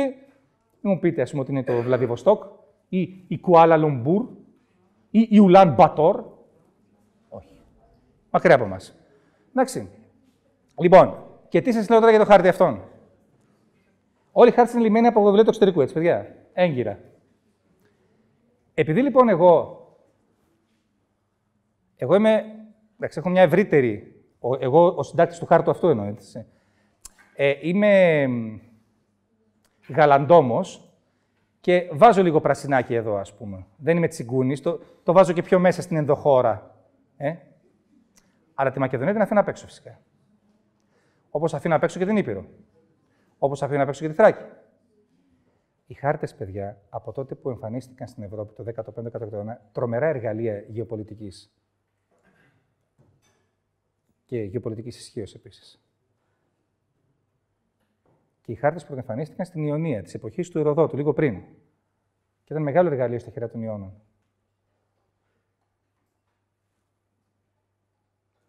Όταν λοιπόν θα σου πούνε εσύ, εσύ που δεν ξέρεις, εσύ που σπουδάζεις φιλολογία στο εξωτερικό και στο εξωτερικό, εδώ έτσι, αυτομάτως, ασυναίσθητα, θεωρείς πως ναι, η Ελλάδα είναι μέχρι εδώ, άντε και λίγο εκεί και μετά.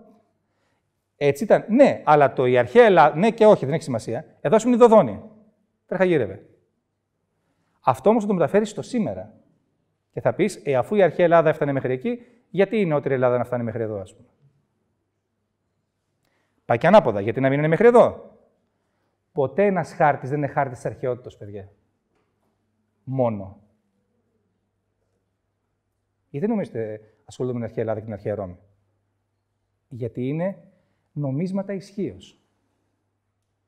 Μέχρι τώρα τουλάχιστον. Δεν ξέρω αν θα, αργότερα με το Ισλάμ θα είναι άλλος τύπος, αλλά ακόμα και το Ισλάμ προς το παρόν θα, για την Ευρώπη που την κατακτά σιγά σιγά θέλει να έχει μια νομοφάνεια ότι εγώ είμαι η αυθεντική Ευρώπη, ας πούμε ότι εγώ στον αρχαίο ελληνικό πολιτισμό, εγώ το Ισλάμ, της της, ε, του Χαλιφάτου των Αβασιδών, που έχει μια βάση αληθείας βέβαια. Αλλά τη βάση αληθείας την κάνω. Καταλαβαίνετε τι εννοώ. Ό,τι βλέπουμε είναι προϊόν ερμηνείας. Να είστε υποψιασμένοι. Δεν είμαστε αρνητικοί, αντιθέτω, είναι τα εργαλεία μας. Και πώς το καταλαβαίνουμε. Εδώ είναι ευρύτερη περιοχή μας. Ιταλία, Σικελία, λίγο και Αφρική. Με, με αυτούς τους τους χάρτες, ξέρετε, τους μακρόστενους, δεν το λένε, είναι επιστημονικός όρος που παρουσιάζει τη Βραζιλία στο κανονικό τους μέγεθος και όχι περιορισμένη. Έτσι, εδώ λοιπόν. Δεν φαίνεται καλά, στο συγγνώμη.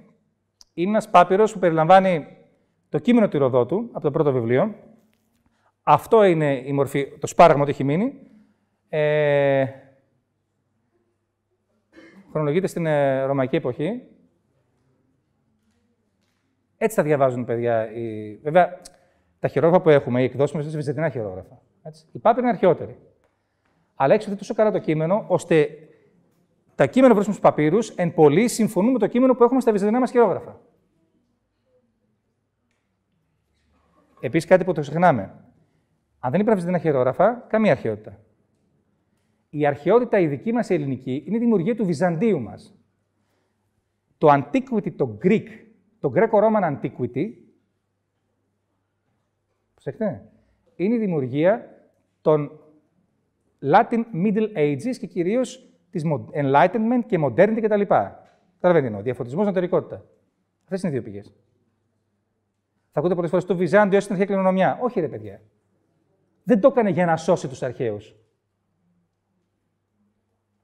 Αντέγραφαν τα κείμενα γιατί ήταν σημαντικά για αυτούς, τους Βυζαντινούς εποχής. Ήταν κομμάτι της ταυτότητάς τους, γι' αυτό. Όπως και τώρα δεν ασχολούμαστε με αυτά, γιατί δεν είναι κομμάτι της ταυτότητάς μας. Και είναι λοιπόν να ασχολούμαστε με μια περίοδο του ελληνισμού και όχι με άλλες. Λοιπόν, μιλήσαμε για χάρτες. Αυτές είναι βέβαια ε, του 19ου αιώνα, συνάδελφοι ε, του εξωτερικού του 19ου αιώνα, απεικονίσεις, αναπαραστάσεις του με βάση τις αρχαίες πηγές πώς ήταν οι πρώτοι χάρτες ε, μέσα του 6ου αιώνα προς που εμφανίστηκαν στην Ιωνία. Κυρίως στη Μίλητο. Και αυτός είναι υποτίθεται ο κόσμος, η υδρόγειος, το πούμε έτσι, επίπεδο ήταν η γη τότε, θεωρούσε ο κόσμος, με βάση τον εκατέο το μιλήσιο, πηγές για τον εκατέο. Εντάξει, χοντρικά ήταν διπλή η διάκριση. Η Ευρώπη, όλο αυτό είναι η Ευρώπη, ο Βορράς, το βόρειο ημισφαίριο, δεν είναι ημισφαίριο, καταλαβαίνετε, συνεννοούμεθα, το βόρειο μισό του χάρτη και το νότιο μισό Λιβύη και Ασία μαζί. Η Λιβύη, η Αφρική δηλαδή, κομμάτι της Ασίας. Και γύρω-γύρω ο ωκεανός. Δεν είναι χάρτη που βρέθηκε στην αρχαιότητα έτσι. Είναι αναπαράσταση νεότερη του 19ου αιώνα βάσει των πηγών. Και εδώ είναι ο χάρτης, αναπαράσταση ε, του χάρτη όπως ο Ηρόδοτος, με βάση το, το έργο του, θεωρούσε τον κόσμο. Εδώ βλέπουμε ότι δεν υπάρχει ωκεανός, όπως τον Εκατέο. Ο Εκατέος δεν διατηρεί το μυθικό πρόταγμα του Ομήρου, που στον Όμηρο, σας θυμίζω, ο ωκεανός είναι ένα ποτάμι που περιτρέχει τη γη, που περιτρέχει συγγνώμη τη γη. Θα μιλήσουμε για τη μετά. Α, ε, παρένθεση. Θα σας έχουμε ζαλίσει και το σχολείο και στο πανεπιστήμιο το πέρασμα από το μύθο στο λόγο. Από τη μυθική εποχή την αρχαϊκή που ο κόσμος πίστευε σε παραμύθια θεούς, μέχρι την, τον αρχαιοελληνικό διαφωτισμό των σοφιστών. Πώς ξέρουν από εδώ μέσω του Νεύτων. Ο Νεύτων, η ηγετική μορφή του διαφωτισμού, έτσι. Η σχολή του με μαγικά. Μαγικά. Χορταρέας. Έλατε. Δηλαδή, είναι αλχημίες, μαγικά, σολομονικές τις μαζεύετε. Εγώ όμως, Ευρωπαίος του σήμερα, που βασίζομαι στη θεωρία του Νεύτωνα και πιστεύω πως έχω το φως, γιατί είναι θρησκείο ο διαφωτισμός, έχουμε πει. Το φως και νικά το σκοτάδι της Ανατολής, λέγε με Ανατολική Ευρώπη, λέγε με Ανατολική Μεσόγειο, θα πάρω τον Νεύτωνα, το φτιάξω, το φτιάξω όπως τον θέλω τον Νεύτωνα τον πρωτοπόρο του επιστήμης κτλ. Θα πάρω το Γαλιλαίο και θα φτιάξω μάρτυρα της πίστης μου. Που οι κακοί ερωεξεταστές του είπαν αυτό κτλ. Και, και παρένθεση, δεν έγινε έτσι, το ξέρετε. Το και όμως κινητό που Γαλιλαίος το είπε ο κόσμος. Δηλαδή, ήταν, αν θέλετε, ένα σύνθημα αντίστασης του κόσμου στα μουλοχτά. Η ερμηνεία της ιστορίας. Αυτά κάνει και ο Ηρόδοτος. Η ιστορία, παιδιά μου, το παρελθόν δεν είναι ποτέ παγιωμένο. Επανερμηνεύεται. Να το έχετε υπόψη σας. Η βασική διαφορά είναι μία. Η επανερμηνία αυτή θα βασίζεται, θα είναι από μένα, δηλαδή από τον φορέα του πολιτισμού, από τον νόμο και φυσικό συνεχιστή ή από τον επιτίδιο κατακτητή, σύμμαχο, βάλτε τι θέλετε. Δηλαδή, τα δικά μου ματάκια θα, βλέπουν, θα στρέφουν προς το φως, τον ήλιο, το δικό μου ήλιο, όπως και να είναι. Ο ήλιος που έχω τώρα, ο δικός σου είναι μεγαλύτερος. Μαγκιά σου. Έχω το δικό μου ήλιο. Ή θα μου πάρει τα ματάκια μου άλλο, θα μου φορέσει γυαλιά και θα μου πει, θα δείξει τα δική του λάμπα πετρελαίου για ήλιο.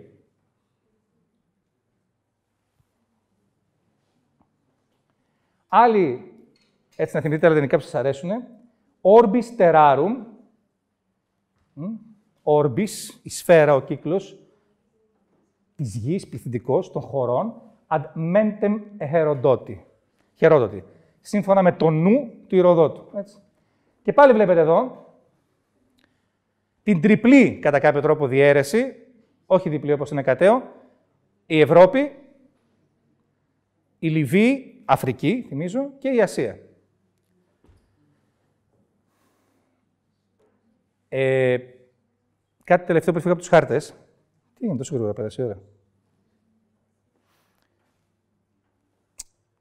Βεβαίως με βάση τα σημερινά δεδομένα που ξέρουμε ότι γίνει σφαιρική κτλ. Αυτοί μπορεί να φαίνονται παιδικοί. Έτσι. Μην πέφτουμε στην παγίδα. Είστε, είστε μάλλον πολύ σίγουροι ότι η επιστημονική γνώση του σήμερα, η γη είναι σφαιρική. Α πάρουμε τη γη, είναι υδρόγειος σφαίρα, ξέρω εγώ. Έτσι, πολύ ωραία που φαίνεται και από τα, από τα Ότι ύστερα από 500 χρόνια θα θεωρείται αυτό η αλήθεια, η επιστημονική. Μπορεί το αντίστοιχο σήμερα να είναι η γη, να είναι με μια σφαίρα, αλλά πώς είναι σε κάτι επικονή του χωρόχρονου του Αϊστάν, έχετε δει, που πέφτει σε ένα δίχτυ χωροχρονικού πλέγματος. Ο βολουμπούπ και βουλιάζει γύρω-γύρω. Αυτό είναι η κανονική γη. Και αυτό που είναι σφαίρα, χωρίς το δίχτυ, είναι μια αυταπάτη. Κατάλαβα να πω. Όλοι μας, όλοι μας, ε, αν θέλετε, έχουμε ένα περιορισμό. Το χώρο, το χώρο και τον τόπο που γεννηθήκαμε. Οι αλήθειες που θεωρούνται θέσφατα, οι οποίες δεν επιδέχονται αμφισβήτηση, είτε θα τις πούμε θεϊκές, θεϊκή αποκάλυψη, είτε θα τις πούμε σοφές, τις πούμε επιστήμη, ένα πράγμα είναι. Αλήθειες που δέχονται αμφισβήτηση. Ε, δεν μπορούμε να ξεφύγουμε από αυτές. Δεν μπορούμε να ξεφύγουμε από αυτές. Όσες εμείς έχουμε αναγνωρίσει για αυθεντίες. Δεν υπάρχει καλή και αυθεντία, δεν υπάρχει αληθινή και λαθασμένη αυθεντία.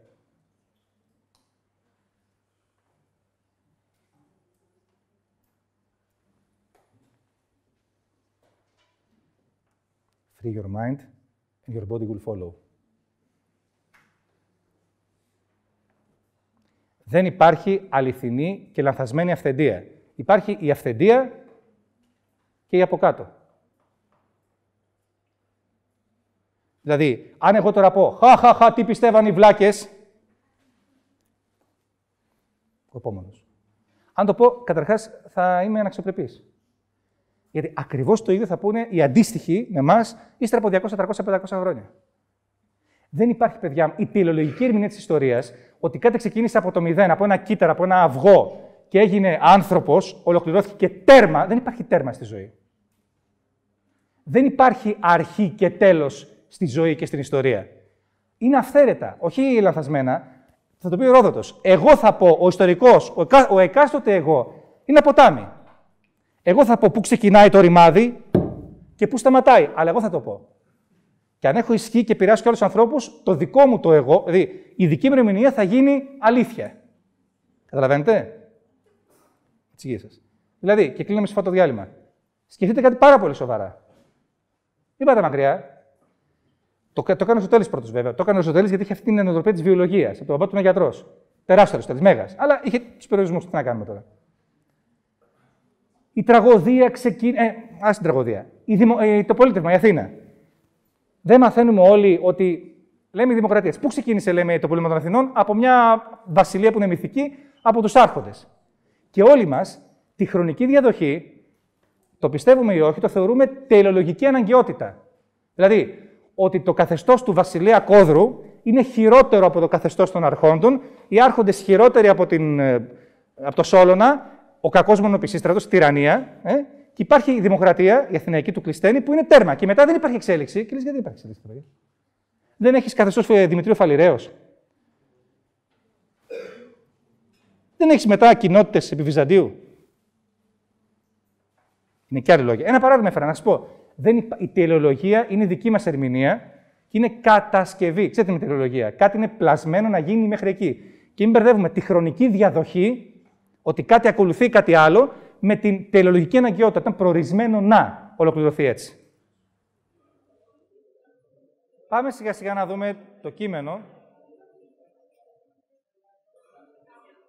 και να υπενθυμίσω ότι οι 11 πρώτες σελίδες που έχουμε τυπώσει για σήμερα μας φτάνουν για 2 με 3 μαθήματα. Εντάξει, παιδιά.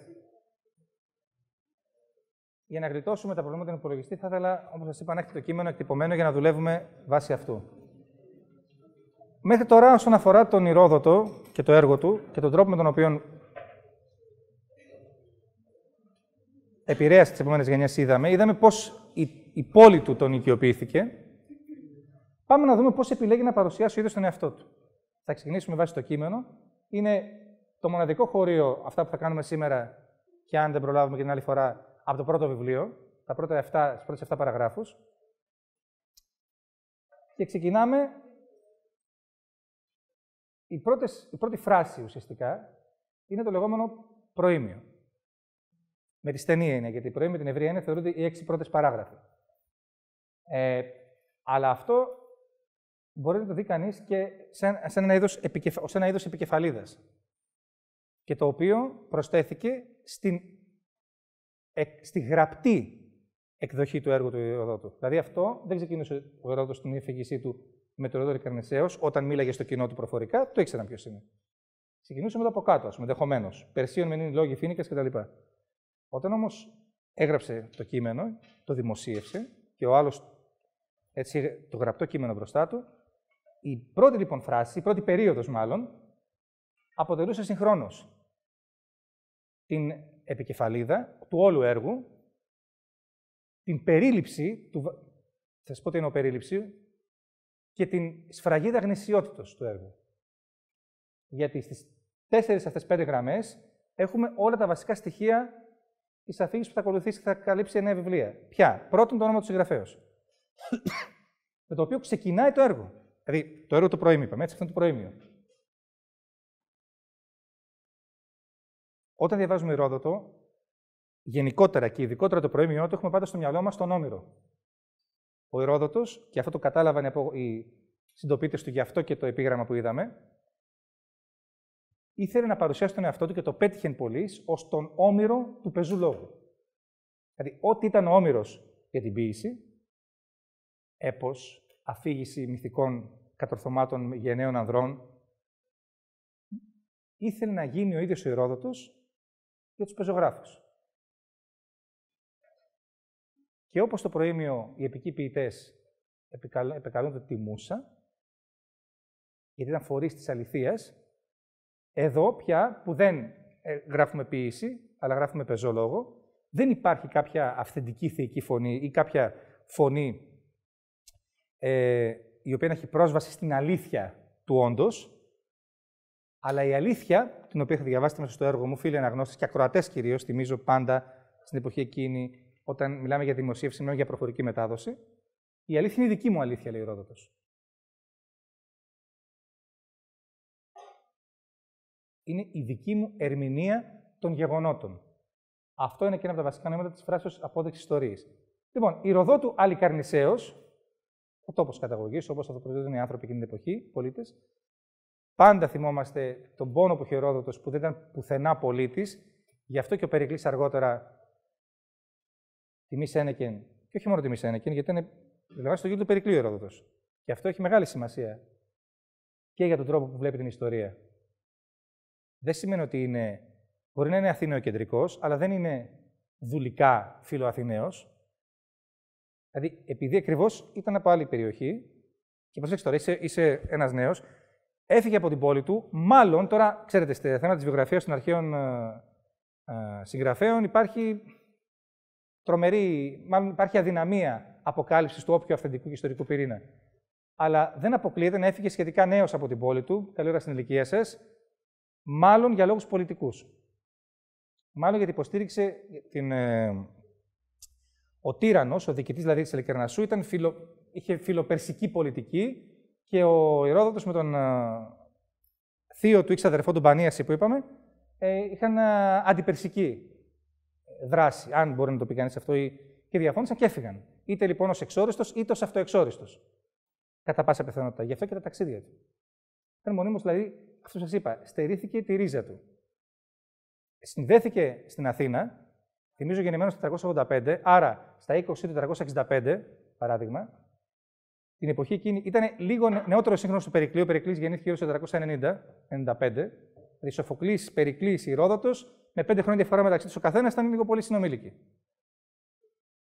Σύγχρονοι, μάλλον. Λοιπόν, μπήκε στο γύρο του Περικλή στην Αθήνα και γι' αυτό δεν τυχαίο ότι. Σας θυμίζω, ο Περικλής, ένα από τα σχέδια που είχε.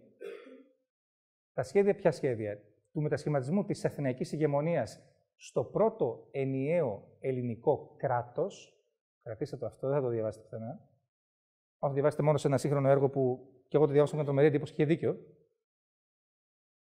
το 11, ε, αυτό που λέμε Αθηναϊκή ηγεμονία, μετά τα μυδικά βέβαια, έτσι, δεν είναι τίποτα άλλο παρά η απόπειρα ενοποιήσεως Ελλήνων, πιασμένοι υπό την ηγεμονία των Αθηνών. Θα θυμάστε κάτι, παιδιά. Οι ενοποιήσεις κρατών κοινοτήτων δεν γίνονται ποτέ με διάλογο. Γίνονται πάντα δια της βίας. Είτε στρατιωτικής, είτε πολιτισμικής.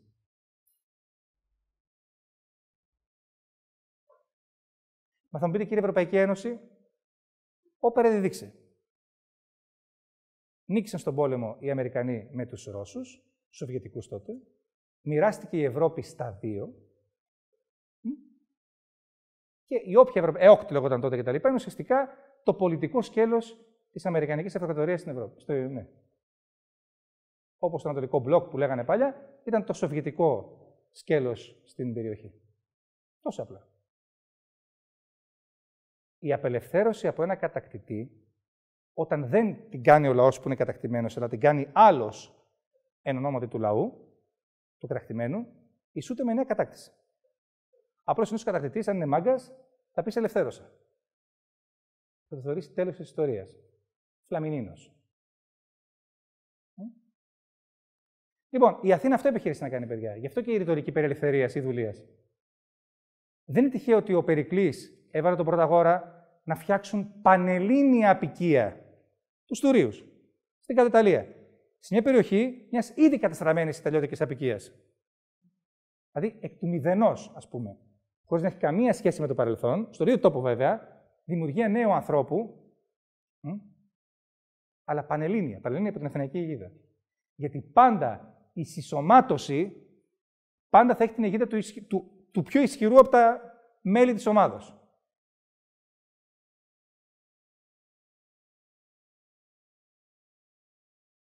Δεν θα ήταν η Αττική διάλεκτο κυρίαρχη στην αρχαία Ελλάδα, αν δεν ήταν αυτό.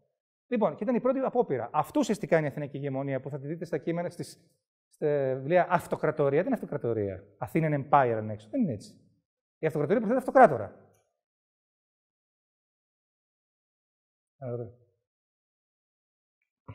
Δεν είχε λοιπόν πουθενά πατρίδα ο Ηρόδοτο. Κρατήστε το για αυτό που σα. Ήταν τιμή σε ένα και πολίτη στου Τουρίου που πρακτικά δεν σημαίνει τίποτα. Δεν πήγε να μείνει στου Τουρίου. Δεν ξέρω αν πήγε. Μπορεί να πήγε, αλλά καταλαβαίνετε. Σαν να λέμε. Τι είναι το δύσκολο σήμερα, ξέρω εγώ μια επί τούτο δημιουργημένη, πεπλασμένη πόλη, το αντίστοιχο που κάνει Σπαρτιάτες σε Στραχίνιες. Λοιπόν, ιστορίες απόδεξης είδε. Αυτό εδώ που κρατάς στα χέρια σου, αναγνώστη μου, αυτό που θα ακούσεις ακροατή μου, είναι απόδεξης ιστορίες. Και αν έχουν γραφτεί για τις δύο αυτές λέξεις και το σύνταγμα αυτό, ε, σελίδες επί σελίδων. Ιστορία. Η λέξη ιστορία, η ιστορία, με τη σημασία που θα δούμε σήμερα, δηλαδή αφήγηση για το παρελθόν, ερμηνεία του παρελθόντος, λόγος περί του παρελθόντος κτλ., απαντάς για πρώτη φορά στην ποιητική του Αριστοτέλους.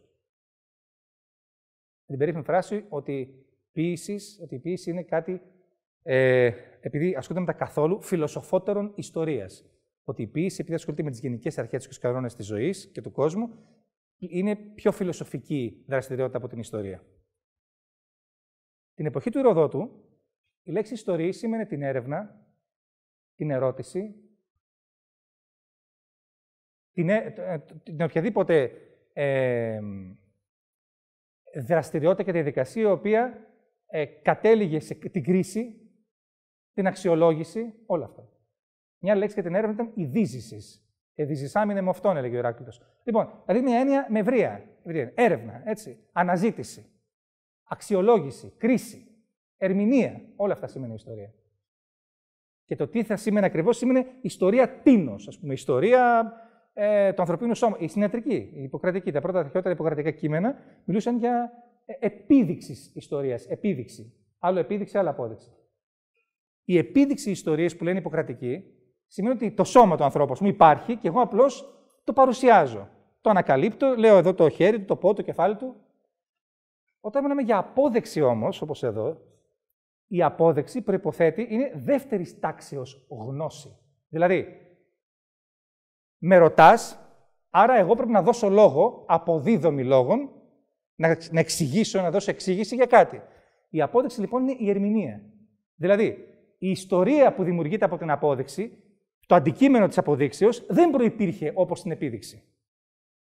Το ξαναπώ. Απόδειξη εδώ σημαίνει παρουσίαση. Έχει δει την επιτελεστική έννοια που λέμε. Λέω κάτι και επειδή το λέω δημιουργείται κιόλας. Δεν προϋπήρχε το εκφωνήματος.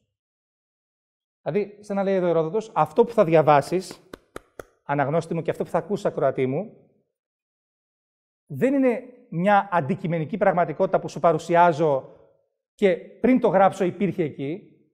Είναι αποτέλεσμα της δικής μου γραφής. Πόσο μπροστά ήταν ο Ερόδοτος.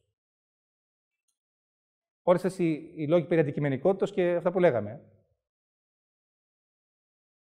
είναι η δική μου ερμηνεία. Όχι αυθαίρετη βέβαια, βάσει ερωτήσεων, απαντήσεων των πηγών μου. Ξέρετε, θα τα πούμε. Κρίσεις, το αίτιο, το αιτιατό, τι μου φαίνεται πιθανό. Ναι, αλλά πάλι δική μου ερμηνεία είναι. Με κανόνες φυσικά, όχι αυθαίρετα. Με αυτή είναι η διαφορά. Η διαφορά του. Της, ε, το λάθος, αν θέλετε, εκείνη υπάρχει, στην αυθαιρεσία ή όχι. Αλλά η ερμηνεία θα είναι πάντα. Η ιστορία είναι πάντα ερμηνεία, όπως είπαμε. Δεν γίνεται να μην είναι ερμηνεία. Και τα ξερά γεγονότα δεν μας αφορούν. Η ιστορία είναι αφήγημα. Ε, αυτό είναι.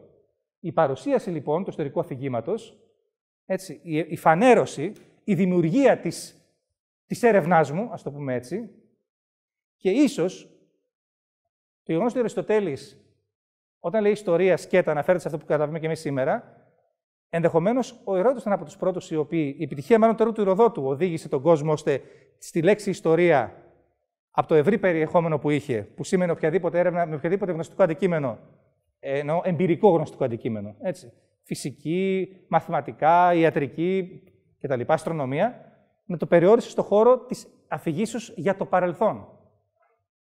Εντάξει. Έχουμε πορεία πάνω σε αυτό. Αυτό λοιπόν που θα διαβάσετε είναι μια ερμηνεία, ένα αφήγημα, μια φανέρωση, ένα έργο, ένα δημιούργημα αποτέλεσμα της δικής μου έρευνας έτσι, για το παρελθόν. Και πώς προκύπτουν για το παρελθόν, οι επεξηγήσει. Οι δύο τελικές προτάσεις. Ως μήτε τα γενόμενα εξ ανθρώπων τον χρόνο εξίτηλα γέννητε. Γιατί να ασχοληθώ με τη συγγραφή αυτή, γιατί να σας ζαλίσω τα αυτιά; Γιατί δεν θα ήθελα τα έργα των ανθρώπων, τα γενόμενα, όταν λέει γενόμενα εδώ Ερόδοτος, παιδιά, εννοεί και τα πρατώμενα, τα ε, δραστηριότητες, πράγματα που φτιάχνουν οι άνθρωποι, αλλά και τα λεγόμενα. Δηλαδή και οι ιστορίες και οι αφηγήσεις και οι μύθοι, όλα αυτά γενόμενα. Ό,τι φτιάχνει ο άνθρωπος. Είτε υλικό, τραπέζι, αυτό που λέμε τεχνικός υλικός πολιτισμός, είτε πνευματικός πολιτισμός. Δηλαδή η ανθρώπινη δημιουργία να μην χαθεί. Και τι θα χαθεί, εξίτηλα, κοιτάξτε ωραία λέξη, δεν λέμε ότι αυτό είναι ένα εξίτηλο, ξέρω εγώ, μελάνι, είναι εξίτηλο χρώμα. Το εξίτηλο είναι αυτό που σβήνει. Ίσον. Εάν δεν βρεθεί κάποιος να το καταγράψει, δηλαδή να το αποτυπώσει σε ένα περισσότερο μόνιμο μέσον, θα χαθεί. Η μνήμη είναι ασθενής του ανθρώπου. Πάτε μακριά. Πώς επο... Στην καλύτερη περίπτωση να έχουμε μνήμη γενεών, τριών γενεών πριν από εμάς, τον παππού μας. Το πρόβλημα δεν το θυμόμαστε.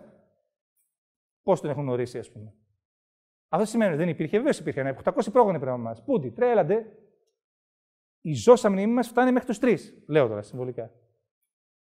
Αν δεν υπάρχει καταγραφή, καταγραφή πείτε ό,τι θέλετε. Σήμερα έχουμε τα εργαλεία αυτά βιντεοσκοπήσεω, μαγνητοφωνήσεω κτλ. Δηλαδή η μετατροπή ενός στιγμιαίου όχι λάθος, δεν μπερδεύω, ενός έπεος πτερόεντος. Ε; Σε κάτι μόνιμο αποτελεί εγγύηση της επιβίωσης στον χρόνο. Βεβαίως, υπάρχει το έπαιχε βεβαίως. Το μόνιμο είναι μόνιμο, αλλά είναι και κειμενών χρόνο. Ή αν θέλετε, υπνότων, κοιμισμένο. Θα τον εμφυσίσουμε πνοή και θα το ζωντανέψουμε. Έχω λοιπόν τον εξής σκοπό. Να διατηρηθεί η ζώσα μνήμη. Να μην χαθούν ό,τι είπαν και ό,τι έκαναν οι άνθρωποι. Ξεκινάει γενικό. Ανθρώπων. Δεν λέει τι, ανθρώπων. Το χρόνο. Στη διάρκεια του χρόνου. Και αυτό αόριστο. Γενικό. Αν, αν έμενε εδώ, παράδειγμα, αν έμεναμε εδώ, θα λέγαμε μεγάλη παγκόσμια ιστορία, ας πούμε, από τη δημιουργία του, του σύμπαντος. Αν, ξαναλέω, κάνουμε ένα πείραμα τώρα. Αν σταματούσε εδώ η φράση, για αυτό το λόγο θέλω να γράψω, θέλω να σας παρουσιάσω τα αποτελέσματα της έρευνάς μου, του, του συλλογισμού μου και το αφήγημά μου. Λες ποιος είσαι. Από εδώ και μπρος υπάρχει μια περαιτέρω, όχι ακριβώς εξειδίκευση, περαιτέρω επικέντρωση, επεξήγηση. Τι εννοώ λοιπόν τα γενόμενα εξ ανθρώπων; Μήτε έργα μεγάλα και θωμαστά, πάλι στα έργα είναι σαν το γενόμενα, δηλαδή λεγόμενα και πρατώμενα μαζί. Θυμηθείτε το ομυρικό λόγων εδιτήρ και έργων πρικτήρ. Πάντα σημείο αναφοράς μας είναι ο όμηρος στο προήμιο και γενικότερα ειδικά στο προήμιο. Θωμαστά, κοιτάξτε το λέξη θώμα, το θαύμα, η ιονική διάλογος. Αυτό το οποίο μου προκαλεί απορία. Μου φαίνεται παράξενο, μεγαλείο και μετά θαυμασμό. Τι παράξενη κοπέλα είσαι εσύ. Τι μεράκια έχεις που σε βασανίζουν. Θα έλεγε ο Ηρόδοτος. Και τώρα που εκεί ξεκινάνε. Γελιόμαστε. Αυτό θα πει αργότερα. Τι θα πει εδώ.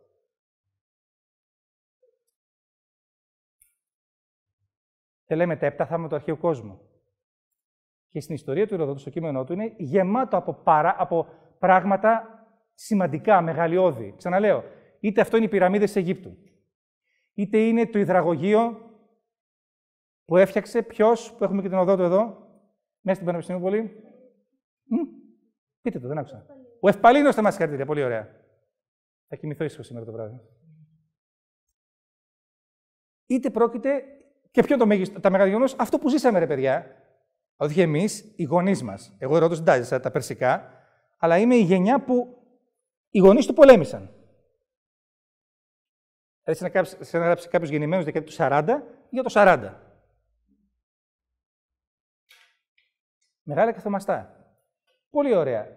Να πάμε να το συγκρινήσουμε κι άλλο. Τα μεν έλυση, τα δε βαρβάριση αποδεχθέντα. Να πάλι το αποδεχθέντα. Απόδεξης. Προσέξτε. Αποδέκνημη, ή αποδείκνημη, ας πούμε εδώ, σημαίνει, είπαμε, δημιουργώ, ολοκληρώνω, φέρω εις πέρας, από το μηδέν, στο, από το μη είναι στο είναι, φέρνω, έτσι μεταφέρω, δια της πράξης μου. Είτε είναι πράξη κανονική, κάνω πόλεμο, ψηφίζω, είτε είναι πράξη δια του λόγου. Έτσι λοιπόν και οι Έλληνες και οι Βάρβαροι, δύο κατηγορίες ανθρώπων. Η οικουμένη έχει Έλληνες και μη Έλληνες. Αυτή είναι η Βάρβαρη. Εδώ. Και θυμίζω ότι μέχρι και τα περσικά, όχι στην εποχή που γράφει ο Ρόδοτος, δεν θα πάψω να λέω να το καταλαβαίνετε. Η εποχή στην οποία γράφει ο Ερόδοτος απέχει 30 τουλάχιστον με 40 χρόνια, να μην πω 50 χρόνια, από την εποχή για την οποία μιλάει. Ενώ για τα περσικά. Και αν μιλάει για πιο παλιά χρόνια, ακόμα περισσότερο. Το κρατάμε. Η λέξη βάρβαρος, μέχρι και να μας επιτεθούν οι Πέρσες, δεν είχε αρνητική σημασία. Παρά μόνο ότι το καταλαβίστικο που λέμε, τα λαμπουρνέζικα, σου. Το βάρβαρο σήμαινε αυτός που μιλάει μια γλώσσα που δεν καταλαβαίνω. Αλλά μέχρι εκεί. Η αρνητική σημασιοδότηση της λέξος βάρβαρος που ισχύει και μέχρι σήμερα, ήταν δημιούργημα των Ελλήνων μετά τα Μυδικά. Γιατί, Γιατί οι Έλληνες νίκησαν. Και νίκησαν τον ξένο, τον μη Έλληνα, τον βάρβαρο. Και ποιον, όχι οποιοδήποτε ξένο, τον ξένο. Τον μεγαλύτερο, τον αρχηγό των ξένων, τον, τον, τον Πέρση. Από τότε και μετά ο Πέρσης, θυμηθείτε και τις απεικονίσεις στα Αγγεία, θα γίνει μαλθακός με τα παντελόνια που δεν έχει ηρωική γυμνότητα, που είναι και λίγο θηλυπρεπής στις κομμωδίες. Μέχρι πριν, μέχρι τότε ο Πέρσης και η Ανατολή ήταν, είπαμε, η πηγή του κυρίαρχου πολιτισμού και ήταν η, η, αυτή που καθόριζε τα πράγματα. Οι τέχνες. Οι Ιώνες είναι εκλεπτισμένοι. Η μόδα της εποχής από τη Λιδία θα ερχόταν. Θυμίζω στην αρχαία εποχή η Δύση είναι ανύπαρτη, ενώ η μη ελληνική Δύση, μέχρι να έρθει η Ρώμη. Καθαρίζουμε. Λοιπόν, όταν μετά το συγκλονιστικό αυτό γεγονός όμως ήρθαν ακριβώς ανάποδα τα πράγματα. Γιατί τον, αυτόν ο, τον ιτημένο στο της μάχης, και μάλιστα εσύ με τις δυνάμεις σου μόνο που τον νίκησες, φυσικά δεν το σέβεσαι. Και φυσικά ό,τι θετικό έχει αυτός, πια εσύ κάνεις κουμάντο στο Αιγαίο. Εσύ είσαι το πολιτισμικό πρότυπο και πρόταγμα. Εδώ λοιπόν θέλω να πω ότι δεν υπάρχει κάποια αρνητική ε, συμπαραδήλωση. Είναι οι Έλληνες και οι βάρβαροι, οι Έλληνες και οι ξένοι. Ενώντας αυτό που λέμε ελληνική και παγκόσμια ιστορία, ας πούμε. Ή παλιά πλέον ειδήσει, δεν το προλάβω, το προλάβω εγώ. Ε, εσωτερικά και εσωτερικές και εξωτερικές ειδήσεις. Εντάξει. Ακόμα περισσότερο τώρα. Τι να γίνουν αυτά, μήτε ακλεά γέννητ. Εξίτηλα και ακλεά. Εξίτηλα εξαφανίζονται στον χρόνο. Αυτή είναι η μοίρα όλων των πραγμάτων, να σβήσουν στον χρόνο. Η λύθη του όντω. Θυμηθείτε οι ψυχές που είναι το, από το νερό της λύθης, στον κάτω κόσμο, πριν ξαναγεννηθούν. Μην πιείς νερό και με ξεχάσεις.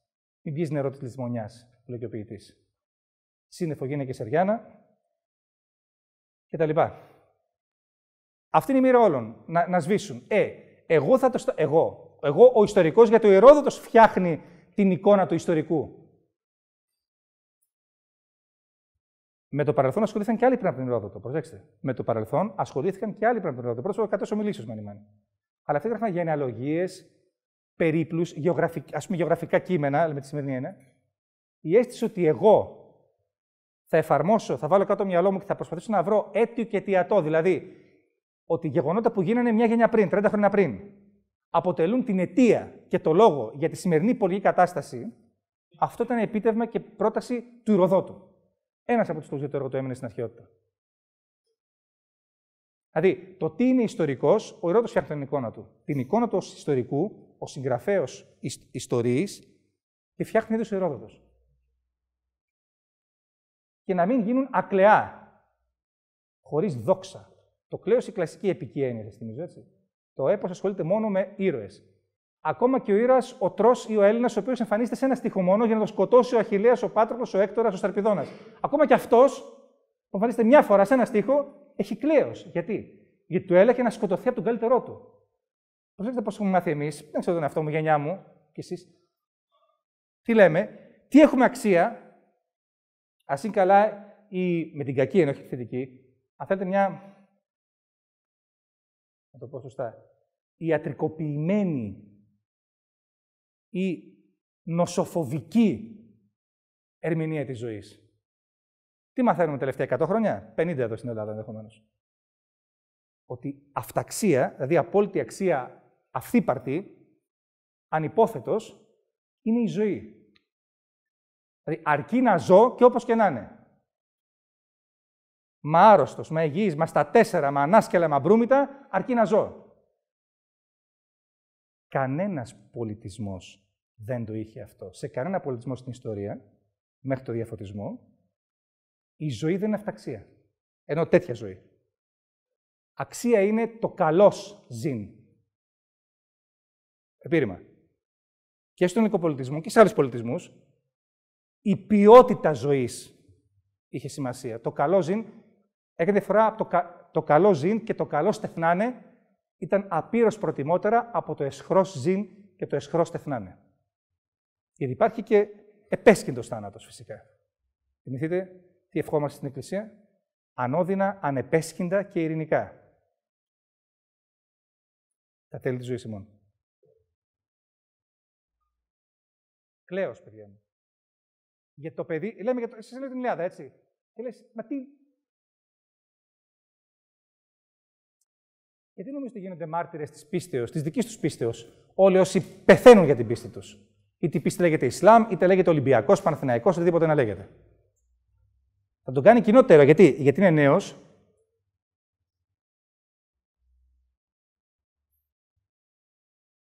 Πόσο μακριά είμαστε από αυτό, ε;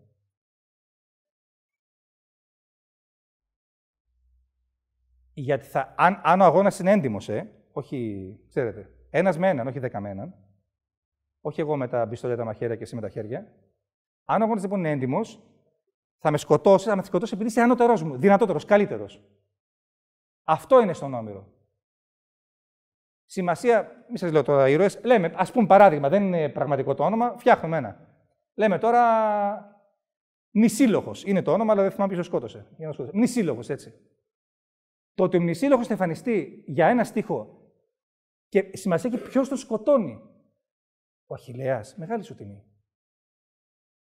Δεν σε σκότωσε ο εξοφυλαρούχας το τσογλάνι που παραμόνεψε στο σοκάκι να σε μαχαιρώσει. Πολέμησες για αυτό που πίστευες, στην ακμή σου είσαι νέο παλικάρι, 18, 20, 25, μέχρι εκεί, 30 το πολύ πολύ. Πεντάρις ο γέρο ήταν ο Νέστορας, ο γέρος του Μοριά που λέμε, στον Κολοκοτρόνη. 18 με 30 είναι οι ήρωε στον Όμηρο. Άντε, πες 40 το πολύ. Κάτι αγαμένονε, κάτι οδυσσή. Το εξηγώ για να καταλάβετε πόσο. Μα... Και αυτό ισχύει μέχρι πρώτη στην Ελλάδα. Μέχρι τη δεκαετία του 40. Και σε κάποιες κοινότητες, μικροκοινότητες ισχύει και τώρα. Αυτές θα επικρατήσουν. Στο Ισλάμ ισχύει και τώρα, όπως ξέρετε. Δεν νομίζετε ότι αυτοί, πώς λένε, η ευθεία αυτοκτονίας είναι αμόρφωτοι και χαζοβιόλιδες και δεν έχουν στην ίδια μοίρα. Όλοι ή οι περισσότεροι.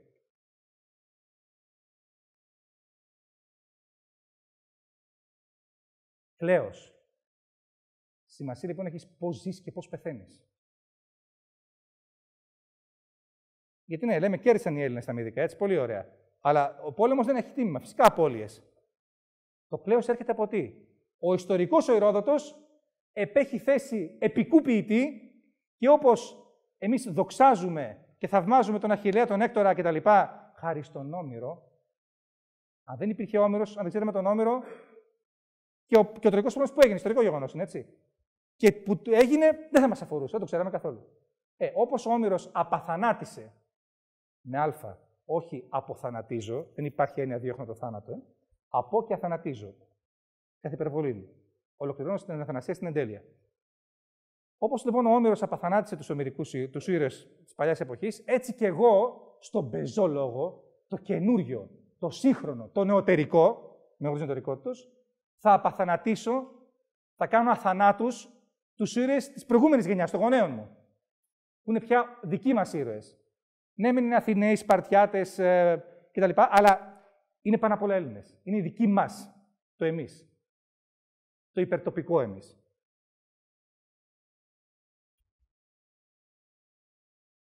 Και ως προς τα άλλα, και προσέξτε πώς καταλήγει η παράγραφος, και ως προς τα άλλα, δηλαδή τα έργα που αφορούν το πώς φτάσαμε στα μεδικά και κυρίως αυτός είναι ο πυρήνας του έργου του Ηροδότου, για ποιον λόγο, για ποια αιτία πολέμησαν μεταξύ τους. Ποιοι μεταξύ τους; Να τα ιστορικά υποκείμενα. Οι Έλληνες και οι Βάρβαροι.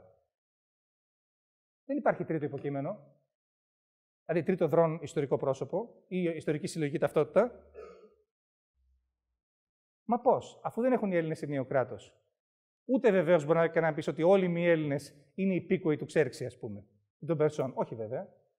Αλλά σε επίπεδο συμβολισμού, όντως τα πόσα χρόνια, 13-15 συνολικά από το 492 μέχρι 379, ας πούμε, 13 χρόνια, ήταν η εισβολή της αυτοκρατορίας της Ασίας, της Περσίας, στην Ελλάδα. Και η σχεδόν επιτυχής εισβολή. Κάτι που το ξεχνάμε, θυμίζω, ότι μέχρι και την Αμαχία Σαλαμίνα, μάλλον, ναι, ο, ο Ξέρξης και πετύχει το σκοπό. Είχε κυριεύσει στην Αθήνα. Δηλαδή δεν είχε λόγο να δώσει ναυμαχία ο Ξέρξης. Θα τα πούμε όταν έρθει η ώρα. Την κυρίευσε στην Αθήνα, την έκαψε. Την έκαψε στην Ακρόπολη, κέρδισε. Ήταν μεγάλη μαγιά. 800 κιλά μαγιά του Θεμιστοκλή να εκβιάσει με κάθε μέσον, και το τονίζω με κάθε μέσον, την αυμαχία, ώστε να έχει μια τελευταία ευκαιρία. Και του βγήκε.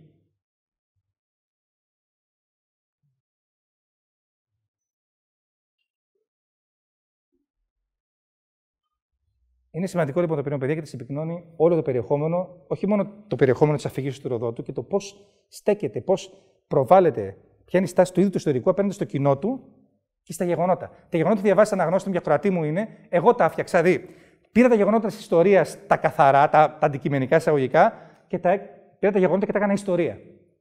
Εγώ. Είναι ανταγωνιστικό το κλίμα, γιατί, προσέξτε, συγκρίνεται το, όπα, συγκρίνεται το προήμιο του Ηροδότου με το προήμιο του Εκατέου. Ο Εκατέος είναι ένας από τους ιστορικούς, ιστορικούς, ένας από τους λογογράφους, οι οποίοι έζησαν μια γενιά δύο γενιές πριν από τον Ηρόδοτο. Από τη Μίλητο.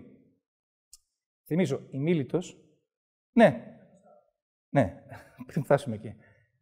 Η Μίλητος, παιδιά, ήταν η ουσιαστική πρωτεύουσα της Ιωνίας. Ό,τι έγινε η Σμύρνη, μέχρι το 22 ήταν η Σμύρνη για την Ιωνία, τη νεότερη, ήταν η Μίλητος για την αρχαία Ιωνία. Ήταν η πρωτοπορία στην τεχνολογία, στα γράμματα, στις τέχνες, λόγω της επαφής με τις μεγάλες αυτοκρατορίες της Ανατολής. Δεν τα ξεχνάμε. Εκεί πρωτοβγήκαν οι χάρτες. Εκεί.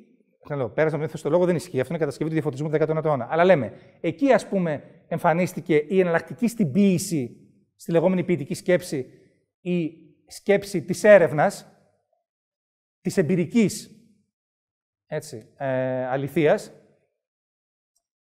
αυτό έχει σωθεί από, τις, από το έργο του Εκατέου Γενεαλογία ή Ιστορία. Το, το Ιστορία είναι μεταγενέστερος όρος. και το Γενεαλογία, συγγνώμη. Ε, με εξαίρεση τον Ηρόδοτο, οι, οι τίτλοι που έχουμε για τα έργα των συγγραφέων, των πεζογράφων πέρα από τον Ηρόδοτο, είναι σε τίτλοι που τους έβαλαν οι οριστικοί φιλόλογοι. Κοιτάξτε, ο Εκατέο Ομιλήσιος πώς γράφει και τον εαυτό του τώρα.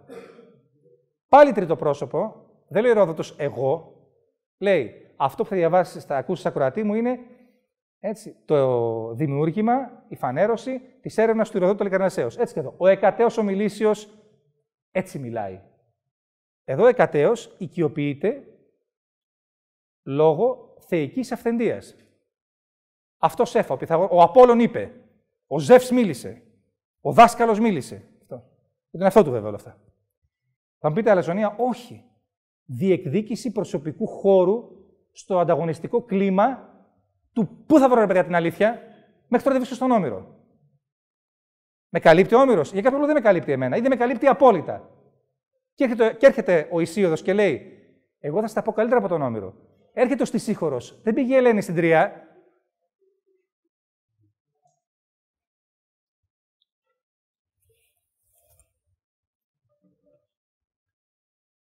Δεν πήγε η Ελένη στην Τρία, το φάντασμά της πήγε. Έρχεται ο Πίνδαρος. Δεν μας τα έλεγαν καλά οι παλαιοί. Θα σας πω μύθους αληθινούς. Όχι τους μύθους που λέγανε οι παλαιοί για να μην τα ακούμε και μας τρομάζουν. Θα σας πω εγώ την αλήθεια, λέει ο Πίνδαρος. Και έρχεται ο Εκατέο. Εγώ θα σας πω την αλήθεια. Έρχεται ο Ηρόδοδο. Εγώ την αλήθεια. Έρχεται ο Σκύλο. Εγώ την αλήθεια. Έρχεται ο Σοκράτης. Οι σοφιστές. Εμείς την αλήθεια. Εγώ, ο Πρωταγόρα. Έρχεται ο Σοκράτης. Εγώ την αλήθεια. Πού είναι η αλήθεια, τρέχα γύρευε. Καταλάβατε;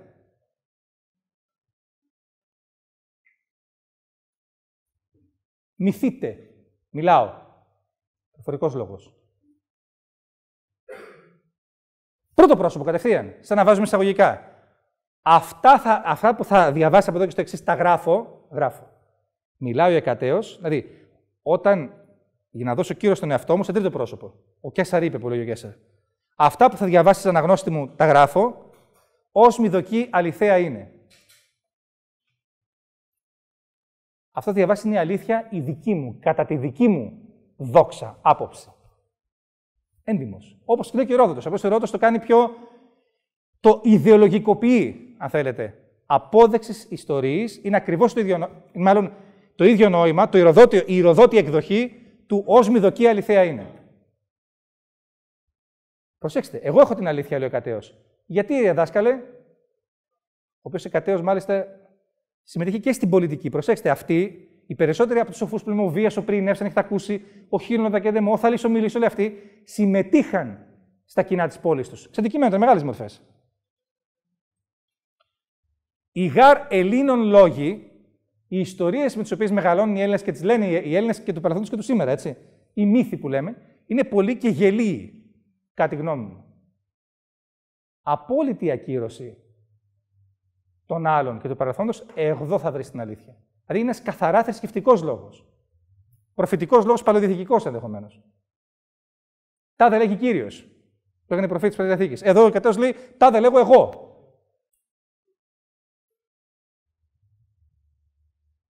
Αλαζονία, όχι. Αν λέγεται όχι μόνο. Τι; Διεκδίκηση χώρου. Αν δεν φωνάξεις, είσαι ένας. Δεν είσαι ο επικός ραψοδός, ο οποίος έχεις πίσω σου τους αιώνες του Ομήρου και κρύβεσαι, είτε στον όχι κρύβεσαι, καλή από τον Όμηρο και λες Όμηρος, Α, και μέσα ξερός. Μόνο σου φτιάχνεις το χώρο δράσης σου. Μόνο σου φτιάχνεις του παδούς σου. Μόνο σου βρίσκεις το χώρο, βάζεις τα μπετά, τα τούβλα, το χτίζεις και λες: Ελάτε να σας διδάξω. Βορικά. Να η διαφορά όμως του Ηροδότου, ο οποίος να λέει με το δικό του προήμιο επισημαίνει τα αρνητικά του εκατέου, είναι σε ευθύ διάλογο με τον εκατέο, όπως αντιλαμβάνεστε, δεν υπάρχει εγώ στο προήμιο, δεν υπάρχει το γράφο δηλαδή. Απόδεξε Ηροδότου. Τα υποκείμενα είναι πάντα οι Έλληνες και οι Βάρβαροι. Δεν είναι ο Ηρόδοτο. Η Ναμία εξίτηλα γέννηται και η Ναμία κλεά γέννηται.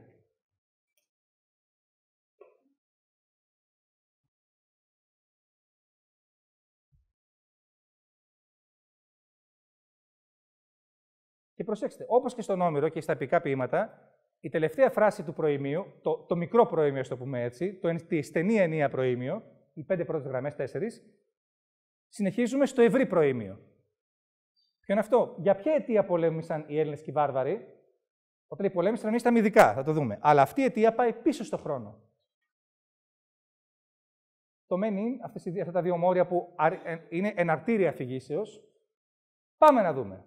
Οι λόγοι υπερσέων οι μορφωμένοι, με ποια είναι μορφωμένοι, όχι σπουδαγμένοι με πτυχία, οι σοφοί των Περσών, που ξέρουν τις ιστορίες από γενιά σε γενιά, τα ιερά τους κείμενα, τις μυθολογίες τους, τα πάντα, λένε, φασί, πως οι υπέτειοι της διαφοράς, της έχθρας, της αντιπαλότητος, της διαμάχης μεταξύ Ελλήνων και Βαρβάρων, είναι οι Φίνικε. Προσέξτε τώρα. Όταν λέμε βαρβάρου εδώ, πρακτικά εννοούμε όλους τους υπηκόους της Περσικής Αυτοκρατορίας δηλαδή τα έθνη της Ανατολής. Και ξαναλέω, για τα δεδομένα της εποχής, όντως το γεγονός ότι ο κύρος, άλλο κουφό κι αυτό, είσαι ένας μικρός λαός, ο Ρεσίβιον, έτσι, μπουρτζόβλαχων, αλλά φοβερών πολεμιστών, οι Πέρσες, ε, ξέρω πώς ξεκίνησε η Περσία. Είσαι υπό τη δούλεψη των Μίδων, η μεγάλη αυτοκρατορία της εποχής Σιμίδη, βγαίνει ένας κύρος και στο φέρνει τούμπα. Και μέσα σε 20 χρόνια, 30 χρόνια, ο κύρος, ο κύρος, ο οποίος όταν ήταν στην ηλικία σας, οι Πέρσες ήταν ένας από τους υποτελείς λαούς, τα τσιράκια των Μίδων, και όταν ο κύρος πέθανε, στη μάχη σκοτώθηκε, 30 χρόνια μετά, 40 πώς ήταν, οι Πέρσες είχαν φτιάξει την πρώτη στον κόσμο αυτοκρατορία που ενοποιούσε τα εδάφη από την Ινδία μέχρι τη Μεσόγειο. Και περιλάμβανε όλα τα προηγούμενα κράτη. Προσέξτε, αυτό είναι το σημαντικό. Η Περσική Αυτοκρατορία περιελάμβανε και αφομοίωσε όλη την ιδεολογία, όλους τους μηχανισμούς όλων των προηγουμένων κρατών. Ασσυρία, Βαβυλωνία, Αίγυπτο και τρέχα γύρευε. Και Λιδία βέβαια. Αυτό το απίστευτο. Ήταν δηλαδή πολιτική πρόταση. Ήταν τελείως καινούριο. Για πρώτη φορά μια μεσανατολικό κράτος έφτανε στη Μεσόγειο, στο Αιγαίο.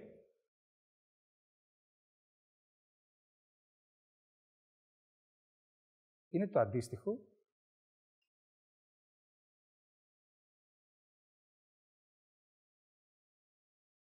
με τις ΗΠΑ μετά το Δεύτερο Παγκόσμιο Πόλεμο που για πρώτη φορά πάτησε απόδοση στην Ευρώπη. Και η Ρωσία αντιστοίχως στη διχοτόμηση της Ευρώπης. Ή οι Τούρκοι Οθωμανοί με την 14η αιώνα με τη χερσόνηση της Καλυπόλεω. Μην σα κουράσω.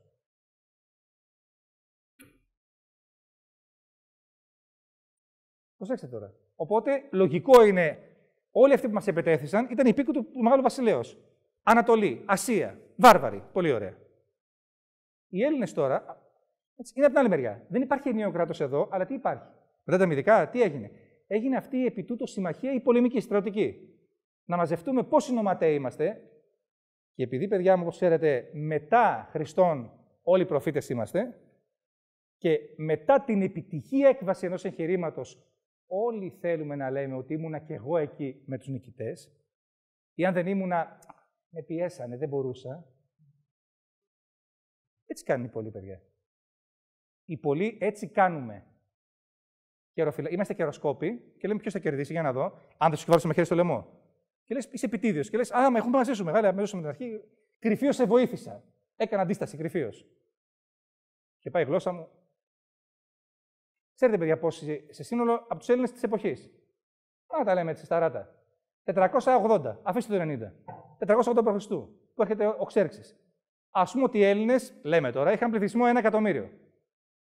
Σε όλη τη Μεσόγειο, έτσι. Θεωρητικά. Ήταν 500 πόλεις. 500 πόλεις. Έχει σημασία, παιδιά. Από την Ιταλία μέχρι τη Μικρασία και από, το, από πάνω από την Κρυμαία μέχρι την Αίγυπτο, ήταν χοντρικά τώρα λέμε 500 ελληνικές πόλεις. Άντε να είναι 400. Πόσες πόλεις, παιδιά, με απετέλεσαν τη συμμαχία των Ελλήνων που πολέμησαν το Ξέρξη. Ένα αριθμό πήγαν. Βέβαια, ήταν οι δύο σημαντικότερες στην κυρίως Ελλάδα. Αλλά πόσες;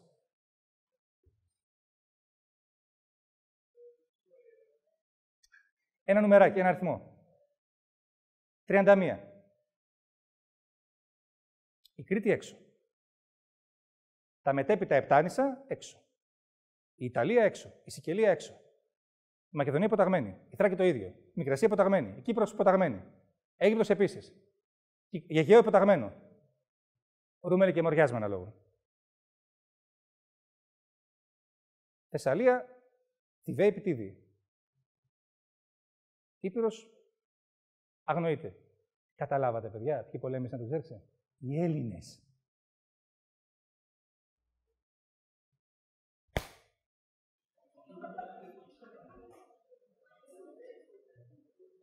Ποιοι πολέμησαν με το 40, οι Έλληνες. Αλήθεια, όλοι.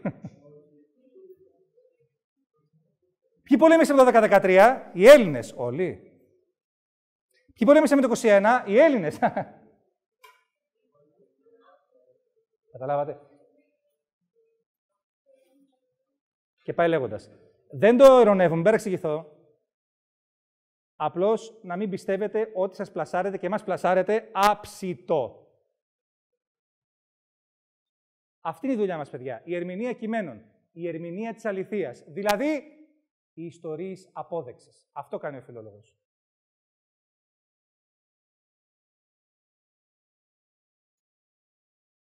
Θα το ξαναπώ για να σας δει αυτό το μήνυμα του Ηροδότου. Και τι λέει ο Ηροδότος. Άρα, τι σημαίνει Έλληνας; Το τι σημαίνει Έλληνας; Πριν από τα μυδικά έχει πολύ μεγάλη διαφορά από το τι σημαίνει Έλληνας μετά τα μυδικά. Το, η εθνική ταυτότητα ενός λαού δεν είναι ποτέ δεδομένη. Μονίμως επαναδραστηριοποιείται, επαναδημιουργείται και γίνεται αντικείμενο επαναδιαπραγμάτευσης. Το καταλαβαίνετε αυτό, παιδιά;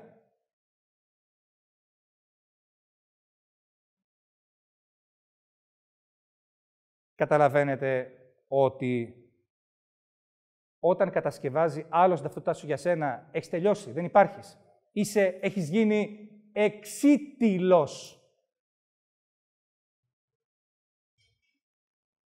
Μα τι να κάνω, άλλος είναι ισχυρός. Έχεις επιλογή. Μα δεν μπορώ να τον νικήσω.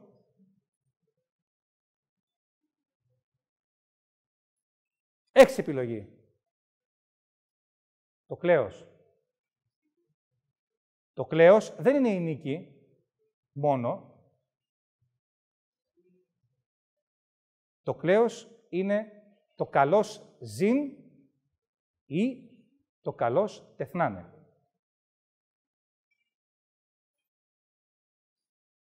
Αυτό διδάσκει ο Ρόδοτος.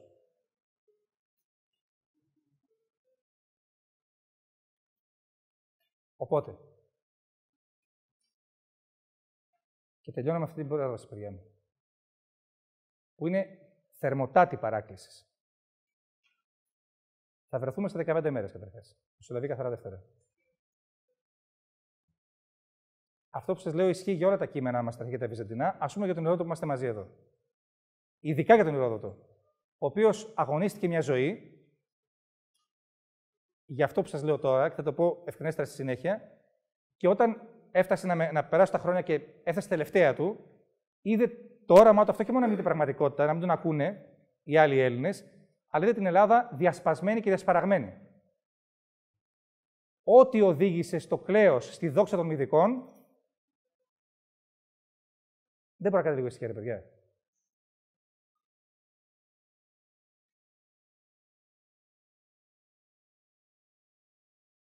Θα φύγετε. Ε, συνειδητοποιείτε τι γίνεται αυτή τη στιγμή. Όχι. Λογικό.